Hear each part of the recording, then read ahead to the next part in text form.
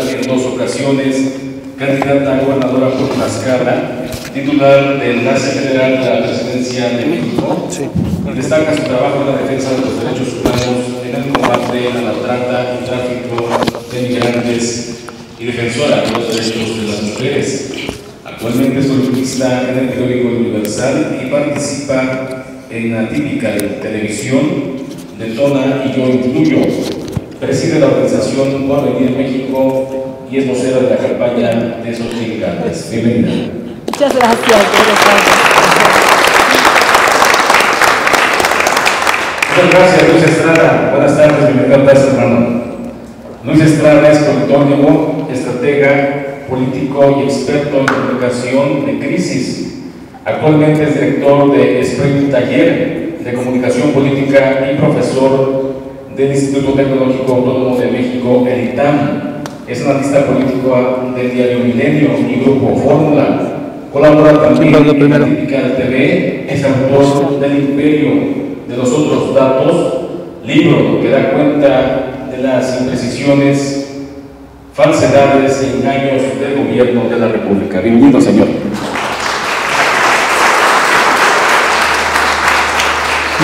En que recibimos con afecto a Miguel Quintana, el troll, licenciado en Buenas. Buenas tardes. Ay, pero se Ingeniero en audio y postproducción, comunicador. Vas primero. Está al frente del canal digital Prime TV con 365 mil seguidores y 250 millones de visualizaciones, lo que lo coloca en el top 5 de los canales especializados empresario en el ramo de logística para eventos masivos, fue regidor de educación, presidente municipal y en el PRI ocupó cargos desde dirigente juvenil hasta consejero nacional. Fue coordinador de giras del presidente del PRI, fue secretario de giras del gobernador de Oaxaca, fue coordinador de programas sociales de la campaña de Enrique Peña Nieto. Miguel Quintana Tazo lo recibe con mucho cariño. Gracias a todos. Gracias. Nuestro programa transcurre con la bienvenida a cargo del licenciado Ramiro Jaime Gómez, el licenciado de uso de la luz. Licenciado. Ah, pues sí. Se van a pasar el micro. Y te pongo este para que suenes en la grabación. Ahí está. Es que se está grabando. Este. muchas, gracias, muchas gracias. Muy buenas tardes a todos, a todas ustedes. Eh, me han pedido tener este gusto, honor y halago de dar la bienvenida. Y quiero eh, agradecer puesto la presencia de Adriana Dávila, politóloga, activista, de nuestro gran amigo Luis Estrada Estrafón, politólogo y analista político, y bueno, el, eh, ya conocido Troll, ya todo el mundo lo conoce por Troll, comunicador y director de, de RIT TV. Miguel Quintana. Eh, muchas gracias por su presencia. Gracias. Los tasqueños los recibimos con mucho cariño, con mucho afecto. Y en el marco de la campaña presidencial, en las actividades que se desarrollan para apoyar a nuestra candidata Xochitl Gálvez, eh, muchas organizaciones y ciudadanos se han integrado en diferentes actividades y esta no es la excepción. A mí me parece que tendremos eh, una exposición, eh, un intercambio de ideas de lujo y yo les agradezco que nos permitan estar con ustedes esta tarde, que me permitan estar con ustedes en esta mesa. Particularmente a cada uno de ustedes por su tiempo, por su presencia, muchas gracias y bueno, pues disfrutemos, escuchemos a los panelistas en esta tarde. Bienvenidos. Gracias. Vamos a iniciar escuchando la participación de Luis Estrada. Adelante, Luis Estrada. Por favor, ingeniero. Sí, como. Eh, sí, o por dentro. Gracias. Muy buenas tardes a todas y a todos. Gracias por estar aquí y tomarse un tiempo de este sábado para platicar sobre la elección que me parece es la más importante de nuestra generación y que he escuchado diferentes ideas o afirmaciones sobre la elección que pues me parece que se dicen muy ligeramente y no necesariamente hay la información necesaria o indispensable para contradecir o para cuestionar lo que destaca eh, eh, la importancia de ir a votar el próximo 2 de junio. Estas eh, seis afirmaciones se las platico, las he estado revisando con nuestro equipo y además pues encontramos que no tienen necesariamente sustento en todos los casos y, con eso empiezo. Miren, la primera afirmación que se dice es em, que esta elección el presidente no está en la boleta. No, es cierto, pero la elección se trata de Andrés Manuel López Obrador y por eso hay tanto que gira alrededor del presidente. Lo primero es que tiene una aprobación, eh, algunos dicen muy alta, entre 55 y 58% de aprobación, pero si vemos cómo estaban otros presidentes a estas mismas alturas una semana antes de la elección presidencial, vemos por ejemplo que Felipe Calderón tenía 66 puntos de aprobación, entonces tenía más, a pesar de que había sido electo con 36%, es decir, creció prácticamente al doble de lo que obtuvo. Y López Obrador, pues fue electo con 53, y si ahorita tiene 55, pues prácticamente se ha mantenido estable. No baja de ahí, pero tampoco es una aprobación demasiado alta. Eh, entonces no es un tema que va por ahí, en realidad la aprobación tiene que ver con los programas sociales, no tiene que ver con todos los demás aspectos del gobierno en los que sale reprobado el presidente, entre ellos la economía, la salud, eh, la educación y por supuesto la seguridad, hasta la corrupción. Eh, en realidad el único tema es los programas sociales que, como hemos visto también, por eso en las campañas de Morena en lo que insisten es en los programas sociales, diciendo incluso que son los únicos que los pueden dar cuando eso es mentira. Y lo segundo es hablando de mentiras, pues que el presidente todos los días miente en las conferencias de prensa, que espero ustedes no vean, estoy seguro que no ven. Eh, van más de 1.350 al día de hoy y nosotros lo que hemos hecho es analizar todo lo que está ahí, está la metodología en el libro El Imperio de los Otros Datos y, y la información sobre el análisis que hacemos. Pero el presidente dice en promedio más, de 100, más de 100 afirmaciones falsas, engañosas o que no puede probar por conferencia. Las conferencias duran 120 minutos. Entonces imagínense que les quitamos a la conferencia el tiempo que usan las y los secretarios que hablan, las canciones que pone, las preguntas que hacen los reporteros y hasta los silencios que tiene el presidente, pues en realidad podríamos decir que todo lo que dice el presidente todos los días es falso, engañoso o no se puede probar. Entonces, eh, por eso las, las, conferencias no tienen el impacto que dicen tener, a pesar de que todos los medios hablen de ellas, pues no necesariamente eh, influye en dar argumentos o demostrar por qué se debe votar por Moreno. Y eso me lleva al segundo punto, que es en realidad parecería que Morena es invencible, parecería que domina el país, pero sí se puede derrotar muy fácilmente. Miren, eh, en 2000 el número de estados que tenía el PRI, que gobernaba el PRI, es más o menos el mismo número de los que gobierna hoy Moreno. Y en esa época los gobernadores priistas, cuando Fox les ganó, sí sabían movilizar. Y movilizaban bien. Y a la fecha van a ver que el PRI moviliza bien, incluso en esta elección. Y ah, hoy esos gobiernos morenistas pues no necesariamente movilizan bien. Yo creo que ese va a ser el problema. Van a tener muchos eh, eh, eh, números ahí que no les van a cuadrar y yo creo que va a haber ahí un tema también de participación, por eso están amenazando, porque no tienen otra forma de llevar a la gente a votar. Y el segundo factor es que normalmente en la historia reciente, Morena y sus aliados han tenido alrededor de 16 millones de votos. Ese es el promedio de voto de Morena y del PRD antes. Los partidos de Andrés Manuel y la izquierda han andado rondando los 16 millones. Así fue en 2006, así fue en 2012, por supuesto en 2018 no fue así porque sumaron a los panistas y priistas que castigaron a sus partidos, pero luego en 2021 bajó de nuevo a 16 millones y en la revocación de mandato, que fue una elección en la cual no tenían contrincante y eran ellos mismos movilizando por la buena, por la mala, con trampas, todo, tampoco pasaron de 16 millones. Entonces, pensemos que esos 16 millones en una elección en la cual votarán muy probablemente más de 50 millones de mexicanos, quizás 60 millones de mexicanos, 16 millones no les da el triunfo. Entonces, tomemos eso en cuenta y por eso hay que salir a votar el próximo 2 de junio y llevar a todas las personas que podamos a votar, llevar a votar. Tercero, he escuchado que quien dice o quien dice que hay que, si no se gana la presidencia, por lo menos se puede ganar el Congreso. Bueno, pues yo les digo que quien gana la presidencia gana el Congreso. Así ha pasado en las elecciones anteriores. Normalmente los partidos del presidente tienen más apoyo en la Cámara de Diputados de lo que obtuvo el presidente en turno. Entonces, quien gane va a tener más porcentaje de voto en el Congreso. Así es la fórmula, así es como está diseñado el sistema y es muy difícil todo esto porque la gente vota todo igual. Las boletas que les dan las tachan todo igual, el 85% de la gente vota todo igual. Y creo que incluso todos están, todos los partidos ya ahorita están haciendo la campaña de votar todo igual.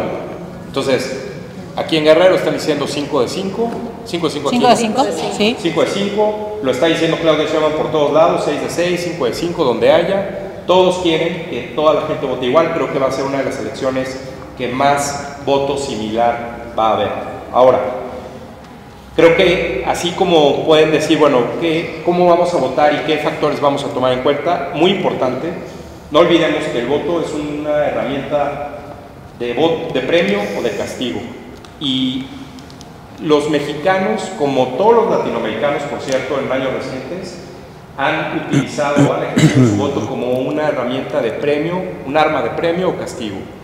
Y eh, les doy un dato, de 2019 para acá, prácticamente en toda Latinoamérica, excepto en algunos países, ahorita les digo cuáles, todos han cambiado de partido, es decir, han castigado al que gobierna y han cambiado en todas las elecciones presidenciales, excepto en cuatro países, Venezuela, Cuba, Nicaragua y El Salvador.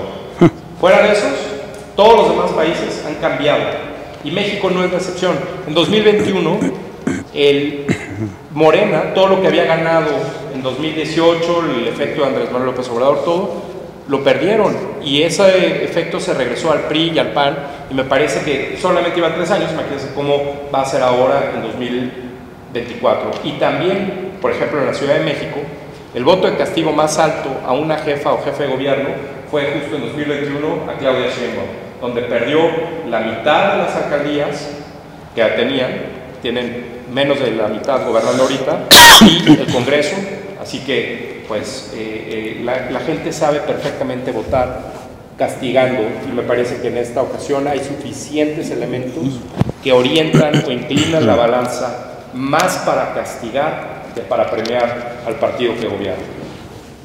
Ya para terminar, el punto 5. Eh, Morena no Él se va a tener que ir, entonces si quieres Morena una vez que le pregunten a él antes de que se vaya, Y derecha conservadora, machista, de derecha conservadora, poco eh, tolerante ante diversos temas que la modernidad va empujando. Y esta, este machismo y este dominio sobre las mujeres de parte del presidente no solo se refleja en cómo se refiere a Xochitl Gálvez y en cómo se refiere a Claudia Sheinbaum, a Claudia Sheinbaum le dice la doctora, a Xochitl le dice la señora, en fin, ya sabrán. Pero sobre todo, por ejemplo, en las candidaturas a, a- las gubernaturas que hay, en esta ocasión hay nueve, la ley dice que tiene que haber paridad y que de las nueve, cinco tienen que ser para mujeres. Morena desde un inicio nombró a mujeres, a las cinco que le tocaban, en estados que tenían la mayor probabilidad de perder. Es decir, las, las impulsó en lugares donde no le interesan, que son Guanajuato, Jalisco, Yucatán, perdón, Guanajuato, Jalisco, Ciudad de México, Morelos y Veracruz. Todos esos cinco los puede ganar la, la oposición o los va a ganar la oposición, y si a eso le sumamos Yucatán eh, y quizá Puebla, pues en una de esas el próximo 2 de junio, de las nueve gubernaturas, siete van a ser para la oposición. Y por último, yo no sé si se habían dado cuenta, pero Sheinbaum se quiere parecer mucho al presidente. Habla como él y todo. ¿no? Eh, y en, esa, en ese quererse parecer y ser autoritaria, eh, proponer cosas que ella ni siquiera sabe si le convienen o no. Hace unos días y, eh, mencionó que quería eliminar la representación proporcional, los diputados de representación proporcional y los senadores Y también dijo que quería que se eliminara la reelección consecutiva de eh, presidentes municipales, senadores y diputados. Lo interesante es que ella no dice que un tercio de los diputados de Morena son de representación proporcional y que esos son los que le dan las mayorías necesarias porque el sistema premia al partido grande, en este caso Morena, y a los partidos chicos, que son PT y el Verde. Entonces, los primeros beneficiados de la representación proporcional son precisamente Morena para tener mayorías. Y ahorita vamos a explicar por qué entonces lo, lo quiere quitar. El segundo punto es que en la reelección, eh, de 2018 a 2021, los, de los diputados, de todos los diputados que se reeligieron, 8 de cada 10, 4 de cada 5, 8 de cada 10, son de Morena. Prácticamente todos los que se reeligieron son de Morena. Y ahora el 24, los que están buscando la reelección, el 60% son de Morena también. O sea, eh, claramente lo que busca con esto Claudia Sheinbaum, me parece, es que dado que todos estos que hoy tienen un puesto para gobernador o, o, ya son senadores o son diputados o incluso gobernadores, ninguno de ellos ni de ellas le debe nada a Sheinbaum, todo se lo debe Andrés Manuel López Obrador. Y la fragilidad y el miedo que tiene Claudia Sheinbaum de, de quedarse sin el control del partido la orillan a buscar una medida claramente autoritaria y regresiva en términos democráticos, como es eliminar la reelección, que es la herramienta que nos dan más fuerte. para saber si premiamos o castigamos a alguien, y la representación proporcional, los plurinominales, que son una herramienta para tener una mejor distribución de los votos en el Congreso, lo hace porque tiene miedo de que el presidente López Obrador controle su gobierno, controle su partido y obviamente que le quite el poder que ella quiere tener, igual, supongo, igual o, o mayor que el de López Obrador. En suma, creo que estos breves puntos que les comparto nos dan una idea muy clara de cuáles son los aspectos que están en juego en esta elección. Es la elección más importante de los últimos 30 años y también la elección que definirá sin duda los siguientes 30 años. Es por eso que digo que es la elección más importante de nuestra generación. Es muy importante también que llevemos a votar a la gente el próximo 2 de junio. No, no nada más a los que ya sabemos que van a votar, sino llevar a gente. Todavía estamos a tiempo de movilizar a quien sabemos que o no están interesados o que están decepcionados. Esa es la oportunidad y ahora con esto, pues como han dicho algunos, quizás sea la última elección que votemos en democracia. Creo que es importante tomarlo en cuenta y eh, que el 2 de junio estemos tranquilos de que respondió la ciudadanía de México ante una oportunidad tan importante como son las elecciones. Muchas gracias. Bravo. Yo creo que ese cálculo está un poco, como decíamos en la secundaria, medio chicharronero, con respeto a todos los chicharroneros. Eso no puede pasar. O sea, no, no podemos pensar en calcular ahí un numerito sacado de la manga. Yo creo que lo que dice ese dato, lo que tiene de fondo ese dato es pensar que, que, Claudia Sheinbaum no va a tener los mismos 30 millones de votos de López Obrador. Yo no, a ver, yo pensaría de entrada que no. Yo pensaría de entrada que no. Pero ¿qué pasa si sí? ¿Por qué, pensa, ¿Por qué conformarnos con que no lo va a lograr? cuando tiene a todos los servidores de la nación movilizándose. Cuando, como dices, todas las encuestas compradas que trabajan para el gobierno de Claudia, que trabajan para el gobierno, andan diciendo que traen 30 de ventaja. Si alguien llega a enterarse de una encuesta y no tiene acceso a un foro como este, piensan que realmente sí van a ganar. Entonces eso desmoraliza. Yo creo que eh, las elecciones en los estados que estén siendo competidas ha sido gracias a un trabajo de estar incluso compitiendo con encuestas que dicen que la otra candidata o el otro candidato de oposición también va arriba. Eh, es decir, ha sido un trabajo muy arduo y creo que es difícil dejárselo a un cálculo de la gente como el que te digo que hay. ¿Qué sí hay que hacer? Y en eso coincido plenamente contigo. Entre más gente vote, naturalmente, orgánicamente como nosotros, hay más posibilidades de que Xochitl gane. Eso es definitivo. ¿Contra qué va ese voto? Contra un voto acarreado, contra un voto obligado, contra un voto amenazado. Venimos de estar en Chilpancingo ayer. Nos dicen que gran parte de la gente en Chilpancingo trabaja en algún nivel de gobierno, que depende de sueldos del gobierno o de la universidad o lo que sea que tenga que ver con el gobierno, y que los tienen amenazados a todos. Amenazados y eh, checados de que vayan a votar. Imagínate en cuántas ciudades en México no se replica eso. Solamente los que trabajan con el gobierno. Si a eso le sumas quienes reciben dinero y dicen, bueno, con que yo reciba este dinero y se creen la idea, porque sí lo están impulsando así, de que si no es morena, entonces ya no les van a dar el dinero, lo cual es falso, pero así lo están diciendo. Por cierto, salió un artículo ayer que dice que eh, el, dinero que da López Obrador no ha reducido la pobreza, al contrario, porque está tan eh, aventado para todos de la misma cantidad que hay gente que no lo necesita y lo recibe, y la gente que lo recibe recibe tan poquito que no le, no le, alcanza. Entonces todo está mal. Eh, yo creo que lo que, hay que lo que hay que enfatizar es no solo el daño que se ha hecho en estos años recientes, que ha sido mucho, los cambios que han ocurrido, cómo se ha transformado el país y hacia dónde podría profundizarse esa transformación y ese cambio que a nadie conviene. O por lo menos que nosotros pensamos que a nadie conviene. Y eso es una forma de decir, bueno, yo quiero salir a votar porque no estoy de acuerdo con este tema. Y llevar a todos, llevar a la familia de los amigos, pues ahí están y esos van a ir seguro. Llevemos a, a otros, llevemos a todos los que más podamos, a gente que, eh, ¿quién decía ayer de los contactos? Ah, bueno, entonces eso, eso, se los dejo rato con, con Adrián. Pero, pero creo que es muy importante invitar a todos, todos los que podamos y después ver qué es el resultado. Eso van a platicar al rato sobre eso. Creo que hay que salir a votar y entre más personas votemos, es cierto, hay más posibilidades de ganar. Muchas gracias. Nos pedimos un fuerte aplauso, por favor. Gracias. ¿Te vas a pegar? Sí. Muchas gracias a la participación de Miguel Quintana, con permiso de todos ustedes. Bienvenido, Troll.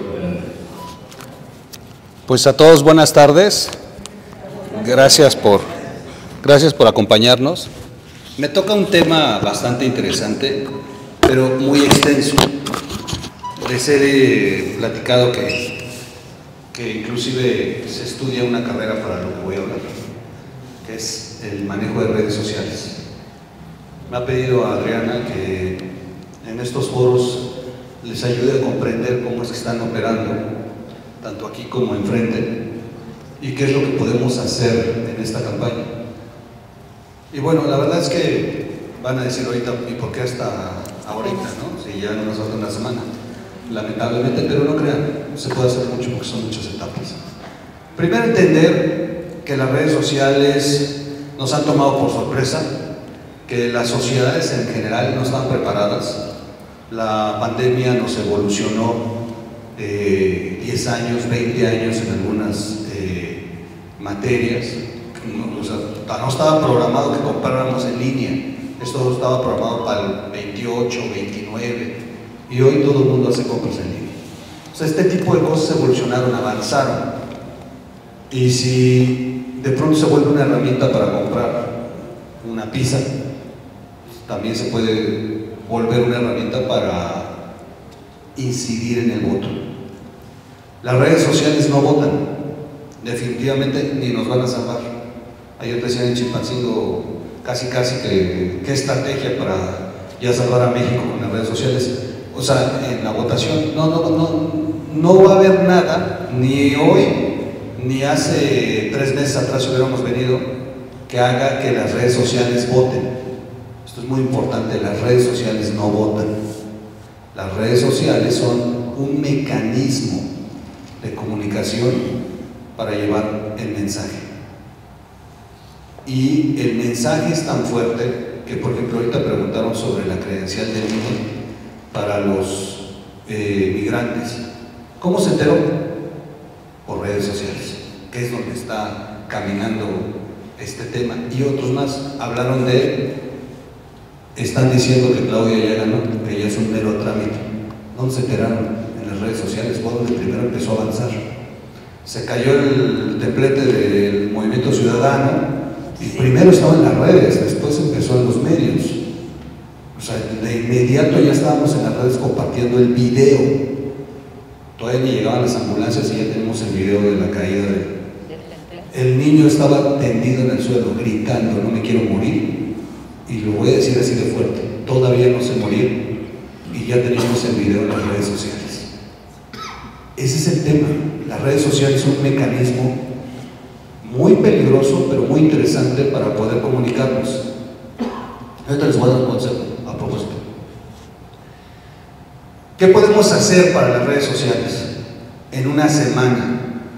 Bueno, la convocatoria para que salgan a votar todos sí es importante. Yo en los otros foros les venía diciendo, dejemos de perder el tiempo en estarnos peleando en las redes. Primer punto, hace como tres semanas andaban bien encendidas las redes sociales y era un jaloneadero y un peleadero y más por los temas del debate. Y se contestaban y te metías, te metías a los chats y de verdad se daban con todo. Este, sí, se seguían y es que el Chairo no quiere entender y, y de verdad era un enfrentamiento. Primero los están distrayendo. Porque ese tiempo que, que- ocuparon en estarse peleando y contestándole, ese tiempo debieron de haber agarrado el mensaje de Xochitl Gálvez y ponerlo.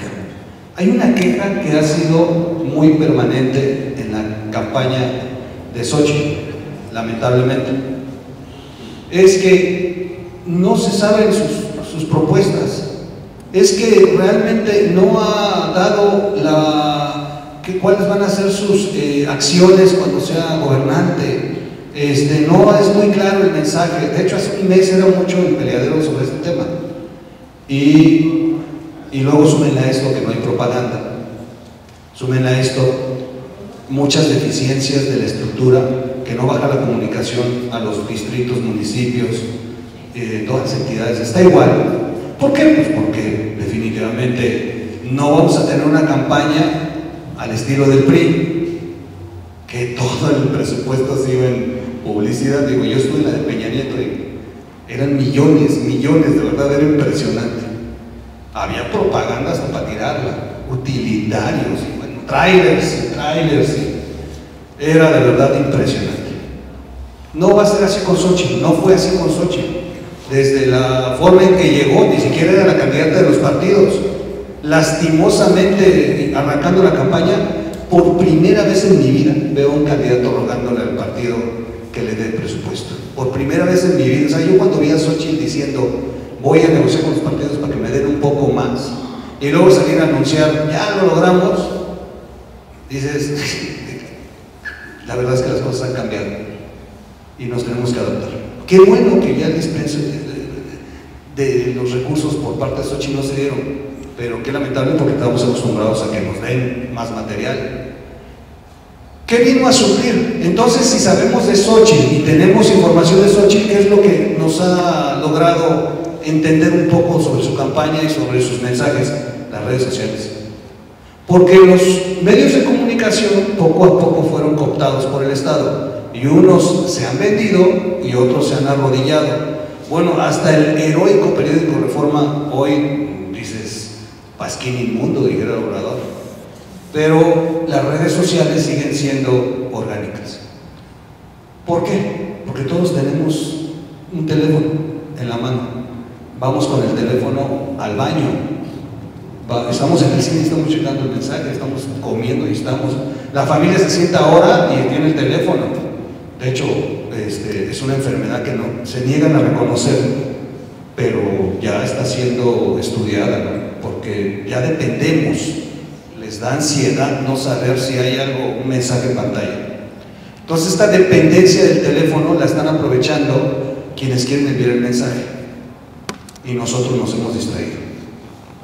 ¿Qué tenemos que hacer en estas, pues, estos casi ocho días, diez días? ¿Qué nos tocan? Diez Menos días. ya. Es dejar de distraernos, no compartir los memes, la etapa de memes ya terminó. Es primero cómo voy a votar, porque la gente sigue confundida con tantos cuadritos que tiene que llenar, con tantas boletas. En eso tenemos que trabajar y compartir todos. Segundo, no porque nos vamos a convertir en Venezuela. Eso a la gente inclusive le da hueva. O algunos ni lo entienden. De hecho, la verdad, México, en México no ha permeado esa idea porque el PRI siempre caminó con el modelo cubano. Cuba, Fidel y el PRI eran, eran amigos, pues. Entonces el mexicano se dio en una cultura de, de no espantarse de, de, Cuba, al contrario, al mexicano le gusta Cuba, le gusta la música cubana, los mojitos, quiere ir a Cuba, contrario a otras eh, entidades. Entonces no permea ese mensaje, nos vamos a convertir en Cuba, no. Lo que permea es como de pronto Adriana pone ejemplos, díganle a cómo estaba la canasta básica, a cómo estaba el huevo y a cómo está hoy, cómo estábamos en Tasco antes y cómo estamos ahora. Apenas pasó esto, acuérdate, hace dos meses hubo esto. O sea, tenemos que regionalizar esta autocrítica y tenemos que hacerle entender al, a quienes nos leen en las redes sociales y todavía tienen dudas, no de más allá, y vamos, sí es salvar el país, pero salvar a Tasco, salvar mi colonia, salvar mi calle, mi cuadra. ¿Por qué? Porque no es lo mismo que se los venga a decir el expresidente municipal, el otro expresidente municipal, una ex senadora, Xochitl Gálvez, o algún cuadro político.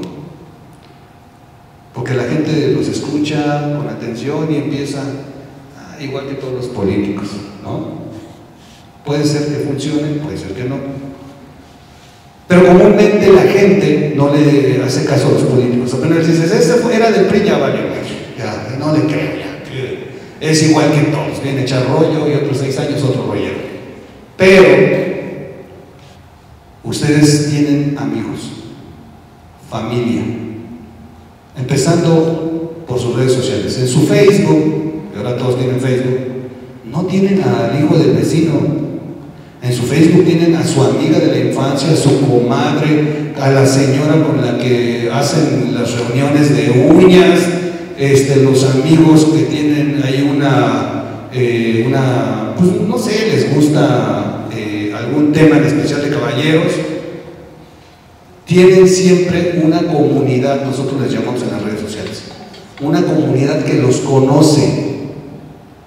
Y esto es muy importante porque entonces, si yo pongo en mi red social, eh, llegó un momento de pensar en nuestro municipio, bla, bla. sin tanto rollo, yo voy con Sochi muy seguro porque definitivamente Morena nos falló. No es lo mismo a que, a que lo lea mi vecina, mi sobrina, mi cuñada, no es lo mismo que lo lea o un compañero de escuela a que lo, eh, a que lo lea, eh, a que se lo lea, insisto, a un político, a un medio, a un propagandístico.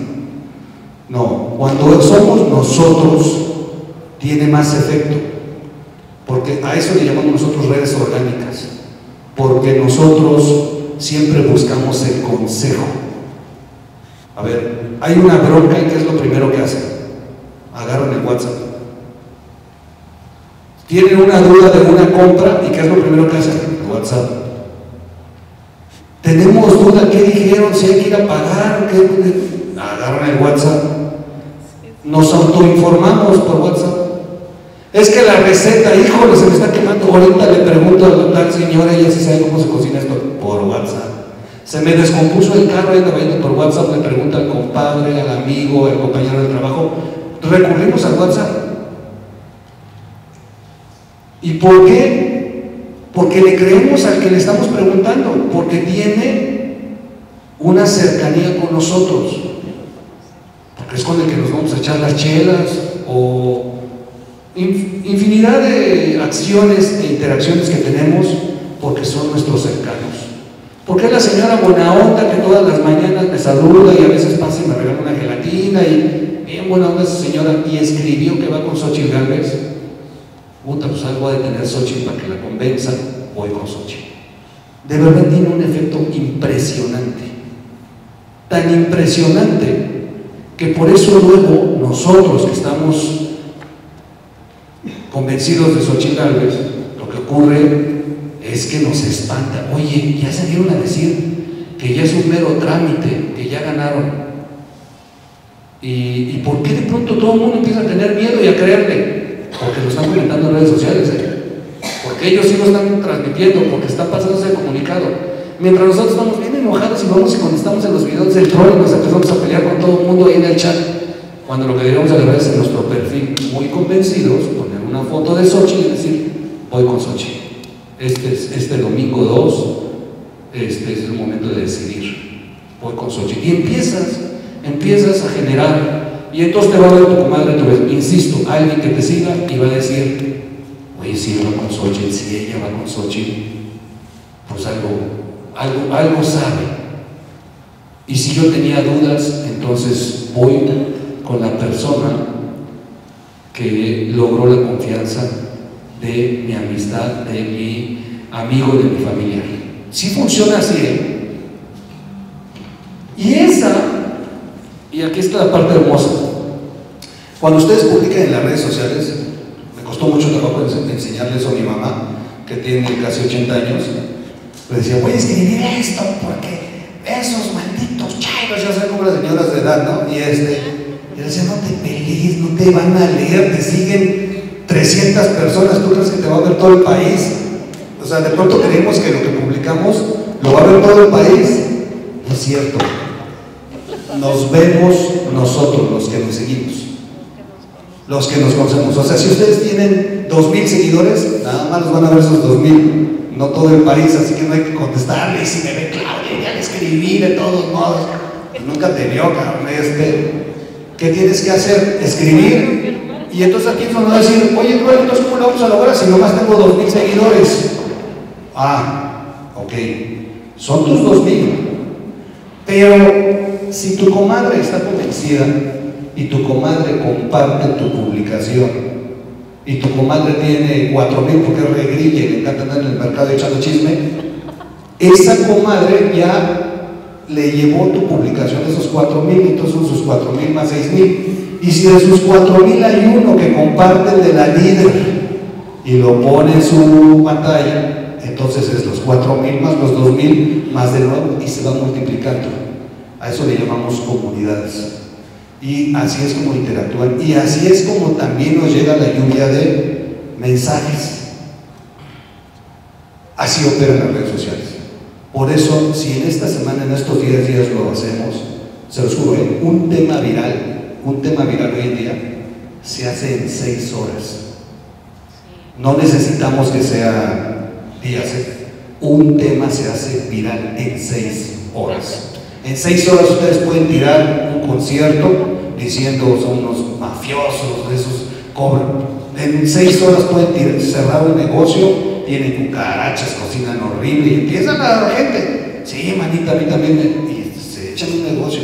En seis horas podemos voltear el voto, ¿eh? Si comenzamos a hacer una red así. En lugar de estar compartiendo el meme, estar peleándonos, estar metiendo. No, es que ya dijeron que viene Maduro y ahí está el video, llegó a México y que, o sea, que llegue Maduro, ¿qué? O sea, viene a cambiar la elección, pero nos enojamos porque está maduro ese desgraciado. O sea, es que me encantan cuando los leo. ¿Para qué pierdan el tiempo? Para empezar, ni siquiera era cierto. No, fue de. Sí, es de cuando vino en la reunión de presidentes. Pero ¿qué tal todo el mundo está enojado? Vino maduro y perdiendo el tiempo cuando teníamos que hacer. Y se volvió viral. Lo peor es que lo volvemos viral por estar contestando. No, no entren en ese juego. Esto, estos 10 días no entren en ese juego.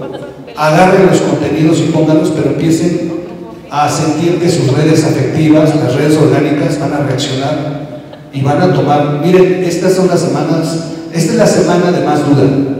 Dicen los expertos que los votos indecisos se definen los 10 días antes.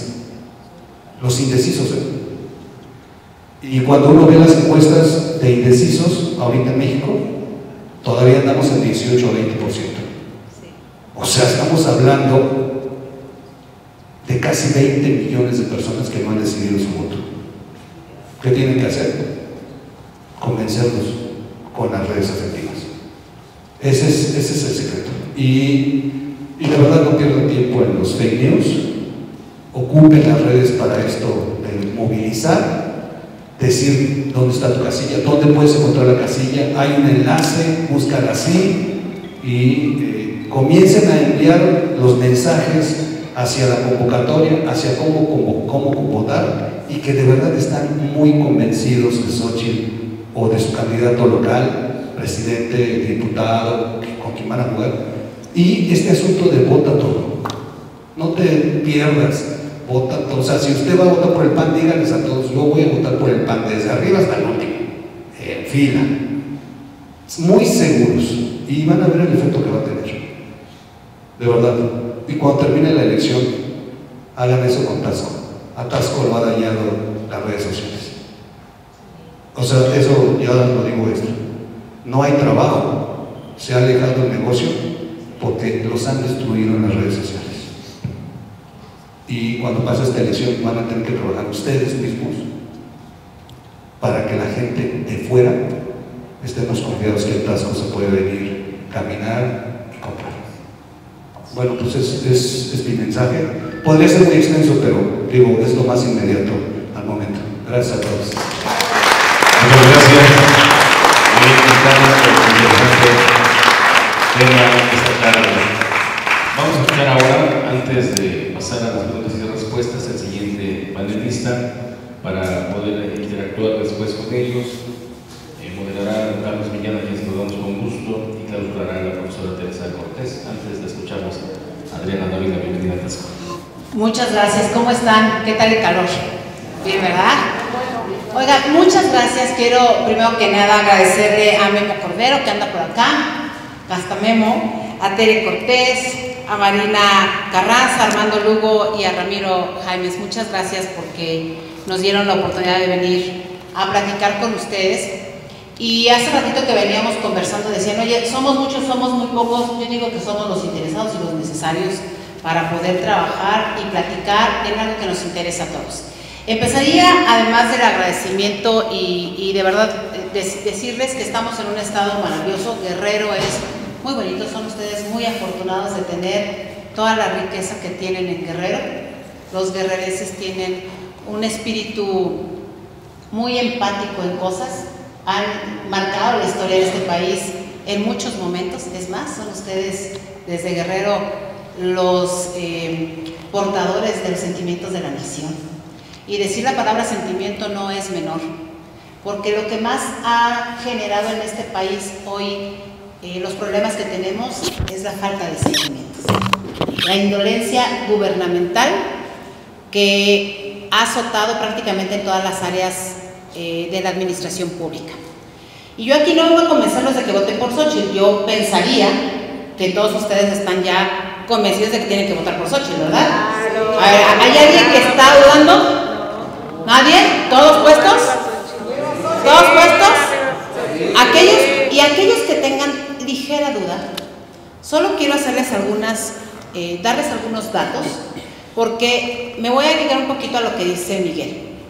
En un país tan polarizado como el que tenemos, que me parece que es el elemento más eh, grave que tenemos en este país, en donde nos mantienen completamente divididos, eh, en donde el discurso inicial del gobierno ha sido justamente que estemos más divididos todavía, en donde nuestros partidos políticos de quienes militamos también estamos todos divididos, en donde la sociedad civil eh, está trabajando con mucha fuerza, pero trabajan con muchos grupos por todas partes y quizá muy comprometidos, pero no necesariamente organizados.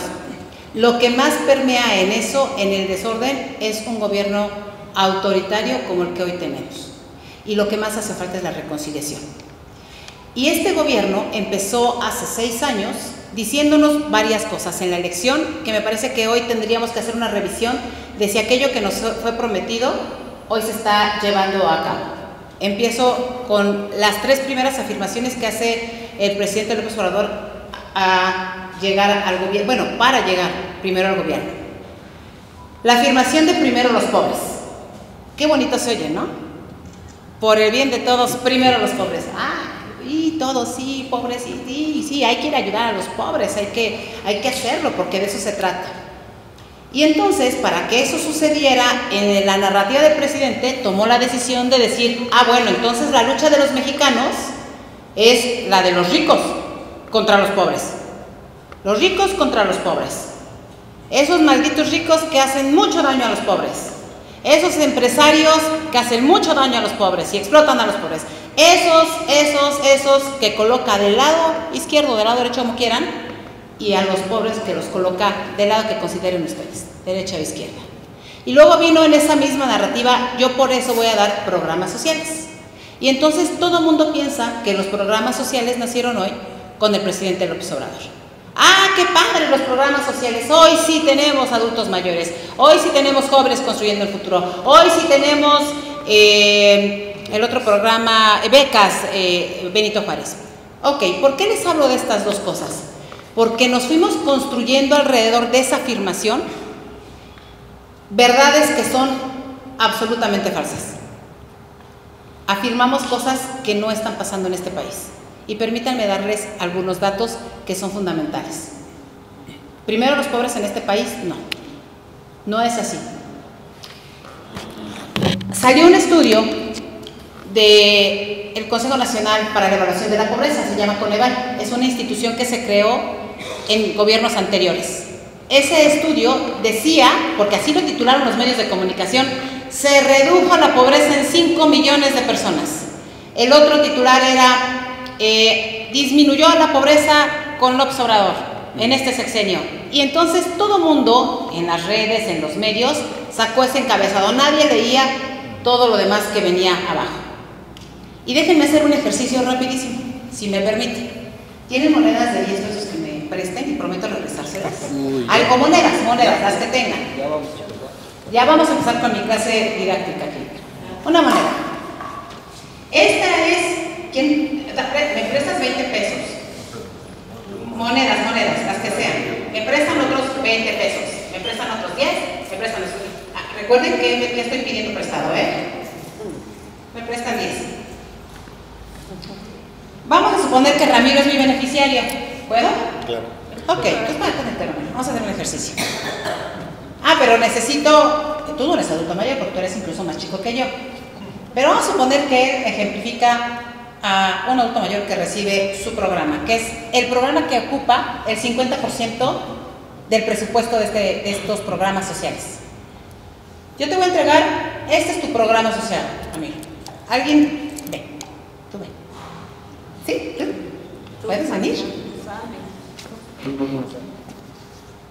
Este, este dinero que me dieron es el que se generó con los impuestos de todos ustedes.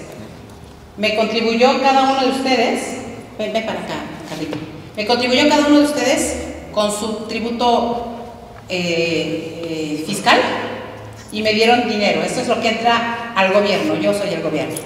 Ya le di a Ramiro su adulto mayor. Ya le di a Carlita su beca para el bienestar. Y ya te di tus jóvenes construyendo el futuro. Pero además, ya me quedé con menos dinero. Porque además empiezan a salirse de trabajar algunos jóvenes de los lugares les quitan la mitad de ese dinero, muchos de los que son empleadores, porque no hay supervisión de ese dinero. En el padrón de adultos mayores hay algo así como un millón de adultos mayores que no existen, que es dinero que aparentemente dan en una tarjeta, pero que creen esa tarjeta no la tiene un banco formalmente establecido. Por eso crearon las cerca de 2.000 sucursales del Banco del Bienestar. Porque ¿quién controla las sucursales del Banco del Bienestar? El gobierno. ¿Quién supervisa el gobierno? El gobierno. Entonces, ¿quién va a supervisar el Banco del Bienestar? El gobierno. No, el, gobierno no está supervisando a Banamex o a Banorte, porque hay otros mecanismos adicionales para esos bancos que están en otro sentido. Vino el primer mes y ya está aquí. Y luego empezó el tema, bueno, ahora les vamos a adelantar. Ahí te va tu otro dinero y te adelanto otro mes, porque además ya va a haber elecciones y adelanto otro mes. Y entonces me queda esto. La economía está padrísimo, porque dicen que el ingreso, hoy tú ya tienes más ingreso, ya tienes dos, dos monedas de 10, tú ya tienes dos monedas de 10. Hay más ingreso. Eso midió el Coneval. ¿Cuánto dinero entraba? Aquí. Eso midió el Coneval. Y entonces dice, ya hay más ingresos en las familias. Qué padre, ¿verdad? No más que quienes hacen gastos saben también qué significa que este dinero salga. Este dinero es lo que yo tengo, el gobierno. Oye, Ramiro, te duelen las muelas. Vas a ir a ver al dentista. Págale al dentista lo de tus muelas. Tú eres el dentista. Ven, te va a pagar tus 10 pesos. Ya te pago tus 10 pesos del dentista. ¿No te gusta mi celular? Seguro sí, ¿no? Ya te diste una lanita ahí. Cómprame mi celular. Soy Electra o Coppel o lo que quiera. Ya salió ese dinero. Carlita, ¿alguien le da dinero a los niños sin que esté supervisado? ¿Ustedes creen que si no hay una supervisión para que ella sepa que este dinero es para su escuela, para las cosas que no tienen acceso? Oye, se me enfermó Carla, no hay medicinas.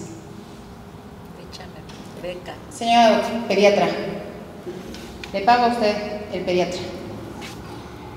Hay que comprar la canasta básica. Hay que comprar pollo. Pero ya está más caro. Ya está más caro tu pollo. Al pollero. Hay que comprar zapatos. Se fueron al doble. Hay que pagar pasaje. ¿Dónde quedó lo de la beca? ¿Dónde está lo de la beca? Entonces el gobierno dice, ahí te va. Tienes tu beca de bienestar, tienes otra vez y tienes otra vez. Pero yo, gobierno, no tengo nada que darte, porque ya me quedé sin dinero. ¿Por qué? Hay un programa, hay un fondo que se llama Fondo de Estabilización, que es, este, que es el dinero que recibe el gobierno cuando cuando deja de haber ingresos.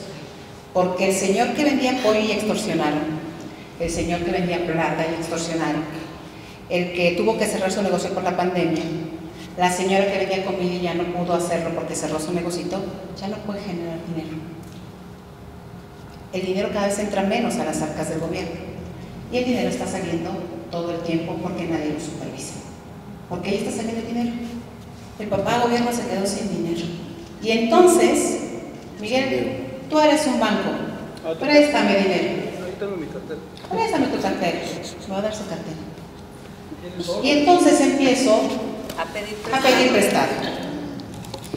Pero lo peor del caso es que en este préstamo, vamos a, hacer- a ejemplificar todo porque es importante gráficamente tenerlo. ¿Con cuánto te quieres endeudar?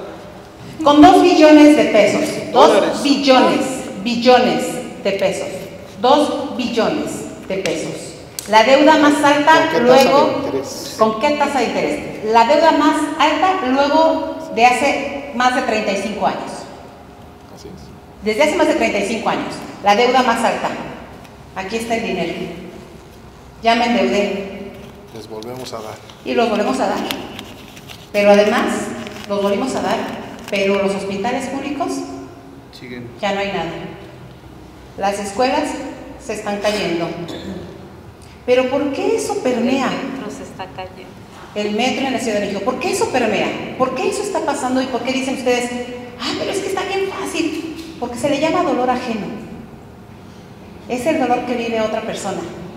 Porque ustedes todavía tienen quizá para comer. Porque ustedes todavía tienen quizá para mandar a sus hijos a la escuela. Porque todavía tienen ustedes quizá un ingreso que les permite tener su canasta básica, por lo menos, y a lo mejor no compran tres leches, pero compran dos. Pero hay familias que a pesar de esto ya no les empieza a alcanzar. Los mismos datos del Coneval dicen que estos dos billones de dinero que está entrando se está yendo ahora a dar dinero por darlo, que no está mal los programas sociales y ahorita les explico porque no se vaya a interpretar, que eso es algo que no hemos sabido explicar y creo que vale la pena. El mismo Coneval dice que el ingreso aumentó, pero el acceso efectivo a los servicios para disminuir la pobreza, no. Y si teníamos 20 millones de personas antes que no tenían acceso a la salud, les quitaron el seguro popular, esa cantidad aumentó, a ¿saben a cuánto? A 50. A 50 millones de personas en este país que no tienen acceso a servicios médicos. ¿Saben quién está ganando lana ahí? Las empresas particulares. Ese que baila así, similares. el doctor sí. Están felices porque ahí están justamente los ingresos que están llegando a una familia. Por cierto, familia, hay, hay que decirlo, familia, tío del presidente del Partido Verde Ecologista Sí, de México, los Jorge González. Torres. ¿A poco no se les hace muy raro que eso esté pasando? Esta política es la política de la- hace más de 40 años. Bueno, déjenme decirles, por lo menos desde que nací yo, hace se- 53 años, de los años 70. Esta era la política que estaba haciéndose. Esta, este flujo de dinero es lo que nos estaba generando. ¿Por qué está permeando esto y por qué todo el mundo dice, pero eso es mentira? O sea, es que sí está ayudando a los pobres. Les doy las cifras. Si 50 millones de personas no tienen acceso a la salud, ¿saben cuántas personas entraron efectivamente al área de pobreza extrema? ¿Tienen el dato? 10 millones. 4 millones de personas entraron a la siguiente fase de personas de pobreza extrema. Es decir, para medio nivelar a una parte de la población, se entró a pobreza extrema A 4. a 4 millones de personas. Pero además, les tengo una mala noticia para los guerrerenses que me da una enorme tristeza porque lo comparten con mi estado que es Tlaxcala. Nosotros ni siquiera en esas cifras, ni ustedes ni nosotros, pudimos salir de la pobreza. ¿Cómo estamos? Somos, junto con Chiapas y Oaxaca, de los estados, del estado del Rol, más pobres todavía. Primero los pobres.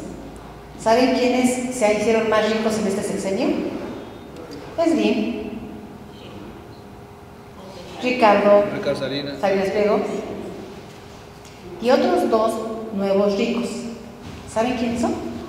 Los hijos del presidente. Ah, pero está bien bonito porque hay una defensa ultranza de ese tema que está pasando. Regreso los dineros a quienes me los dieron. ¿Me debes intereses? Les debo intereses. Acá, acá por favor, ahorita reparto el dinero. Clarita, ayúdenme a repartir el dinero porque no es el diablo que esté pasando. El, el efecto que tiene esto que estamos. a tus intereses. El efecto que tiene esto, muchas gracias, siéntese por favor. El efecto que tiene esto que estamos viviendo, y este, este ejemplo que pudiera parecer tan simple, tan sencillo, el efecto que tiene es que las generaciones de Carla, que tienes, ¿cuántos años tienes Carla? Carla que tiene 10 años, están dejando de haber ingresos en este país para que ellos puedan tener escuelas de calidad. Porque si alguien desapareció programas sociales, es este gobierno. Les voy a dar los datos oficiales de su propio gobierno. Este gobierno desapareció 18 programas sociales, de entre los cuales cuatro al menos eran considerados por organismos internacionales Como los men- como mejores programas que efectivamente disminuían la brecha entre pobres y ricos. Les doy el dato. Oportunidades, que antes era, ¿cómo se llamaba antes? Prósperos. Prospera fue después, ¿cómo se llamaba antes? ¿Progresa? Progresa. Luego de Progresa fue Oportunidades. Y luego fue tres presidentes distintos no desaparecieron el programa, lo mejoraron. Si había eh, algunos riesgos de que estuviera siendo mal usado, como el propio presidente López Obrador dijo, recordaron un comercial que decía, es que ahora hay una nueva modalidad de comprar el voto, que es entregar programas sociales sin ninguna condición, solo con fines electoreros. Ahorita les voy- voy a intentar conseguir esa grabación para que lo escuchen. Ya la tienen ustedes ahí. Esos tres programas fueron dos, tres presidentes distintos que tomaron la decisión no de desaparecer lo que el otro había hecho, porque podía estar con errores, pero eso no significaba que llegaran a tumbar la casa y a destruirla. Es decir, había una casa quizá con ventanas rotas, o había una casa quizá con una puerta que no servía la manija, o había una casa que a lo mejor no estaba barrida porque había mucha basura. La idea es que se cambiaran las ventanas, se cambiara la manija de la puerta o se barriera la casa. el presidente López Obrador llegó a tumbar la casa. Segundo programa, comedores comunitarios. ¿Saben cuántas personas se alimentaban en esas comunidades en donde no había hambre? En las redes sociales benditas, ustedes debieron haber visto el grito desesperado de un maestro que en la zona de Chiapas formó a los niños sin que les viera la cara y que además el presidente dijo que era un montaje. Ese video tenía a los niños en Chiapas diciendo cosas como, ¿qué desayunaste hoy? Hoy desayuné una tortilla con frijoles. ¿Qué desayunaste hoy? Hoy solo pude comerme un vaso de leche. ¿Qué desayunaste hoy? Solo una tortilla con sal. ¿Qué desayunaste hoy? Hoy no pude desayunar. Ese es el dolor ajeno. Díganme de ustedes aquí quién no comió hoy. Todos comieron hoy, ¿no? Poquito, pero comieron. Hay personas que no comieron hoy. Ese dolor ajeno es muy difícil de transmitir. Ese dolor ajeno es muy difícil de ver porque la sociedad se acostumbró a caminar con, con lentes oscuros a los costados para no ver el dolor del otro. A mí nunca me va a pasar. Yo no la voy a vivir. Imagínense el dolor de una madre o un padre con cáncer, de un niño con cáncer, de los 1.600 niños que murieron. No, bueno, a mí no me tocó, dicen algunos, pero es que también, pues, no alcanza para que el gobierno de eso, oigan, el Seguro Popular cubría eso, costó muchísimo trabajo. Sí es cierto, faltaban cosas, pero no se supone que con los ahorros, con el gobierno honesto, con todo lo que eso implicaba, había dinero para atender a los niños con cáncer. ¿Por qué permitimos que murieran 1.600 niños? Ah, pero es el dolor ajeno. ¿Ese a mí qué? Es el dolor del otro, ¿no? ¿Yo qué? Ah, no, pero los papás de los niños son golpistas. ¿Qué hubiera pasado si en el sexenio de cualquier otro presidente hubiera habido una fuga de combustible, como la hubo en Hidalgo, entre Arguelipan y Hidalgo, y hubiera el accidente ese que pudo haber sido prevenido porque se había dado aviso por lo menos dos horas antes a la autoridad, concretamente a la Guardia Nacional recién creada, de que había una fuga y que los pobladores estaban cerca de esa fuga de gasolina por el robo de Huachicol y que con el pretexto del combate al Huachicol se habían ido a comprar quién sabe cuántas pipas a Estados Unidos. Recuerdan que fue un grupo de, de secretarios de Estado. ¿Ustedes han vuelto a saber de esas pipas? Nosotros tampoco. Yo sí. ¿Ni por transferencia? ¿Dónde andan? Eh, las ocuparon para el huachicol, para el trasiego con el rey del huachicol. Esta información del huachicol es lo que acaba de decir Xochitl Galvez del huachicol fiscal. La venta por particulares de combustible producto de la nación. Ah, pero somos soberanos, ¿eh? ¿A poco no se siente bien bonito la soberanía? Si el presidente dice que somos soberanos. ¿Por qué le creen a alguien que no hizo nada y que eso generó la muerte de más de 130 personas quemadas? Quemadas vivas. A los ojos de la Guardia Nacional ahí. Ah, pero ese es el dolor ajeno. Eso le pasó a los de Hidalgo. ¿Qué? Ah, Otis, ustedes lo vivieron. Está bien bonito el tema, ¿Se acuerdan de esta frase de, ah, pero no fueron tantos? No, nos fue muy bien, no nos fue tan mal. No fueron tantos. Pues, ¿Cuántos tenían que ser? ¿Cómo cuántos tienen que morirse para que nos vaya mal? ¿Saben ustedes hasta hoy el número de muertos? Es como si a ustedes los llegaran a asaltar. Los llegan a asaltar, no les avisan, llega un comando, se mete a su casa, los asalta. Dentro de su familia mata a tres o cuatro. Y después ese mismo comando llega y les lleva una despensa. Sí, ya te maté a tres o cuatro, ¿eh? Pero aquí te traigo tu despensa. O te traigo tu refrigerador, o te doy 70 mil pesos. ¿Cuánto vale la vida de las personas en este país? Que somos incapaces de que ese dolor ajeno no nos duela.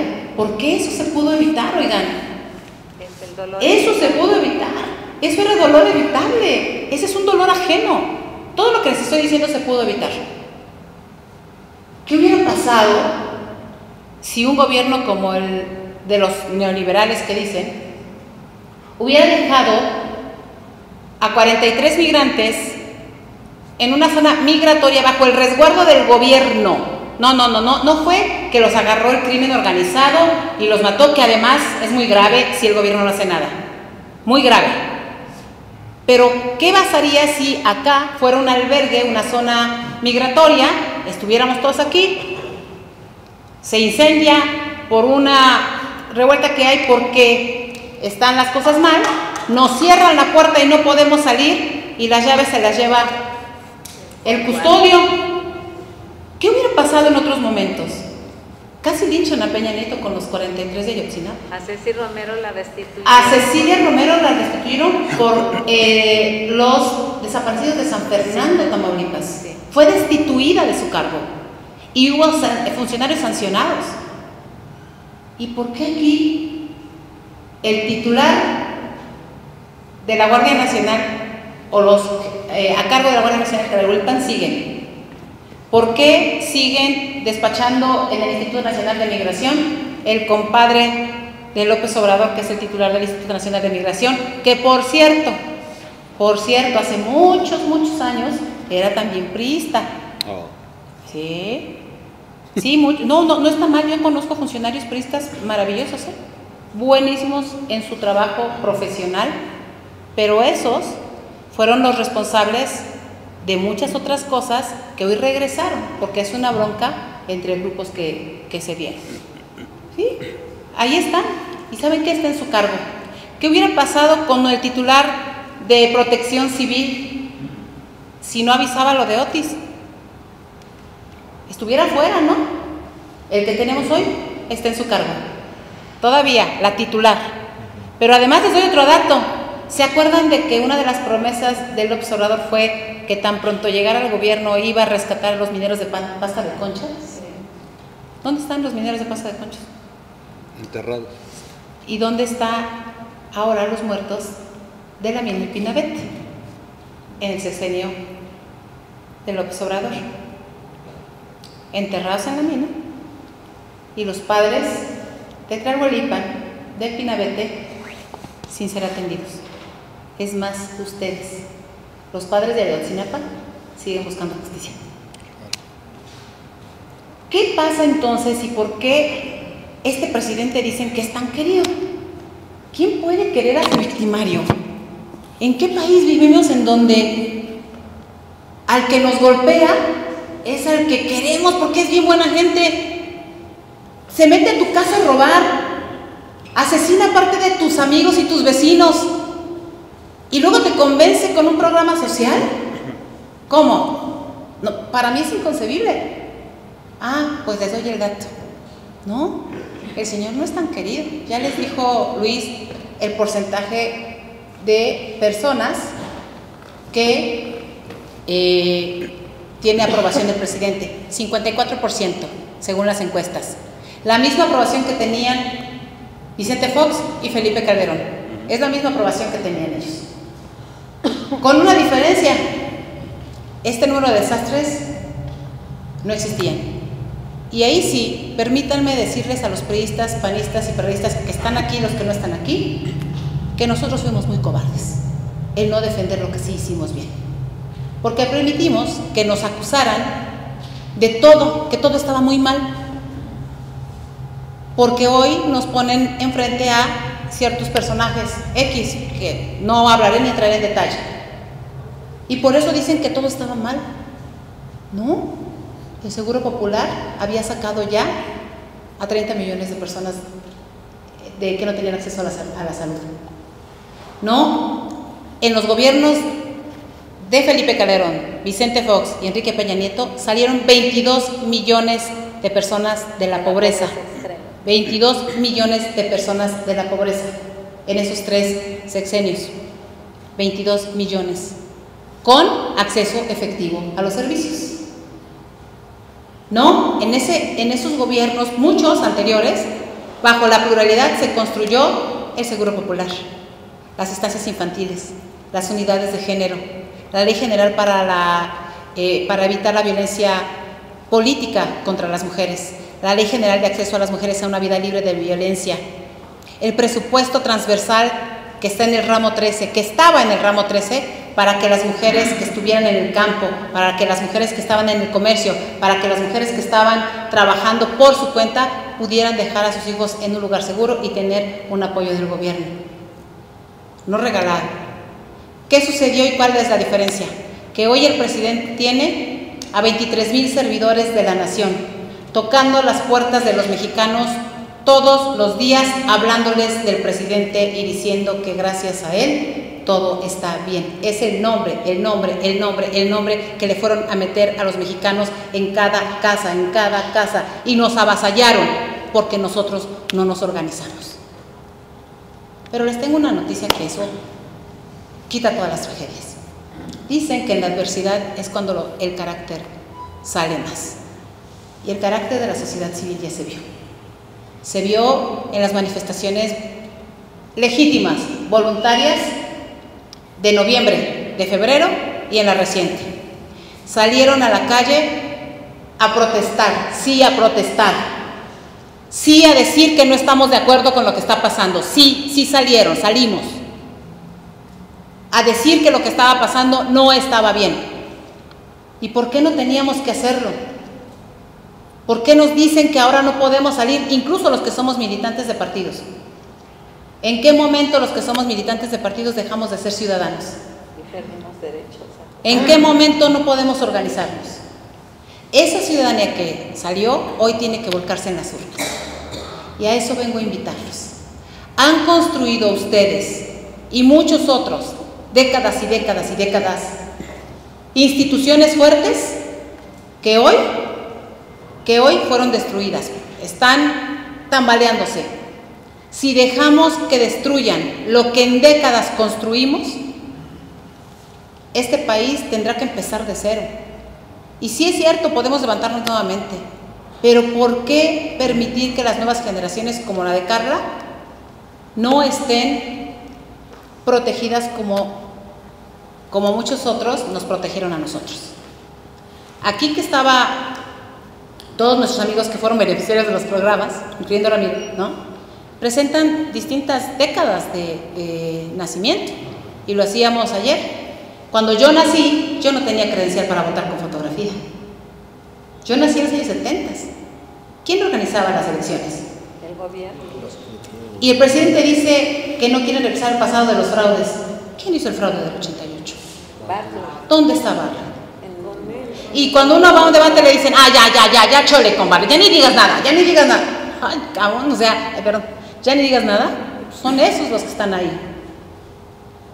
Decían que el Fobaproa, una deuda grandísima. Segalmex no solo lo duplicó, pero les digo quiénes estaban en Fobaproa. Sí saben, ¿verdad? ¿Quiénes? ¿Alguien sabe?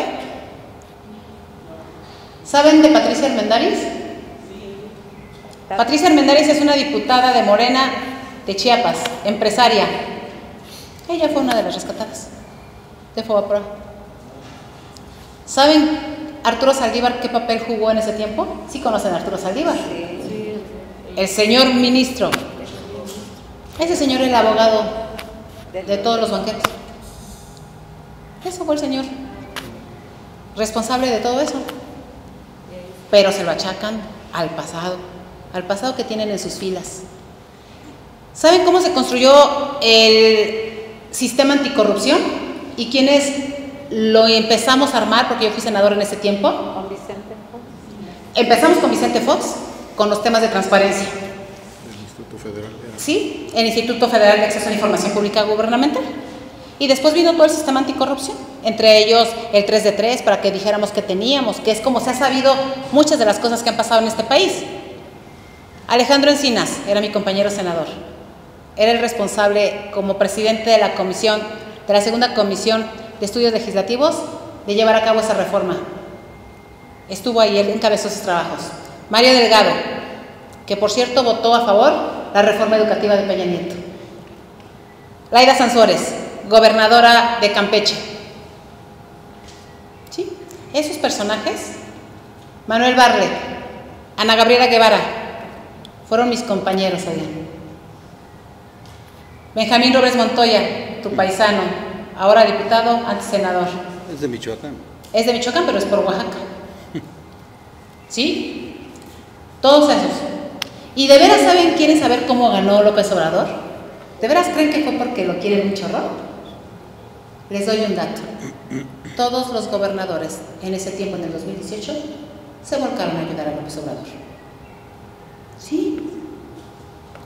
Operaron para el presidente López Obrador, el más querido del pueblo. Todos operaron porque pensaron que era lo mejor.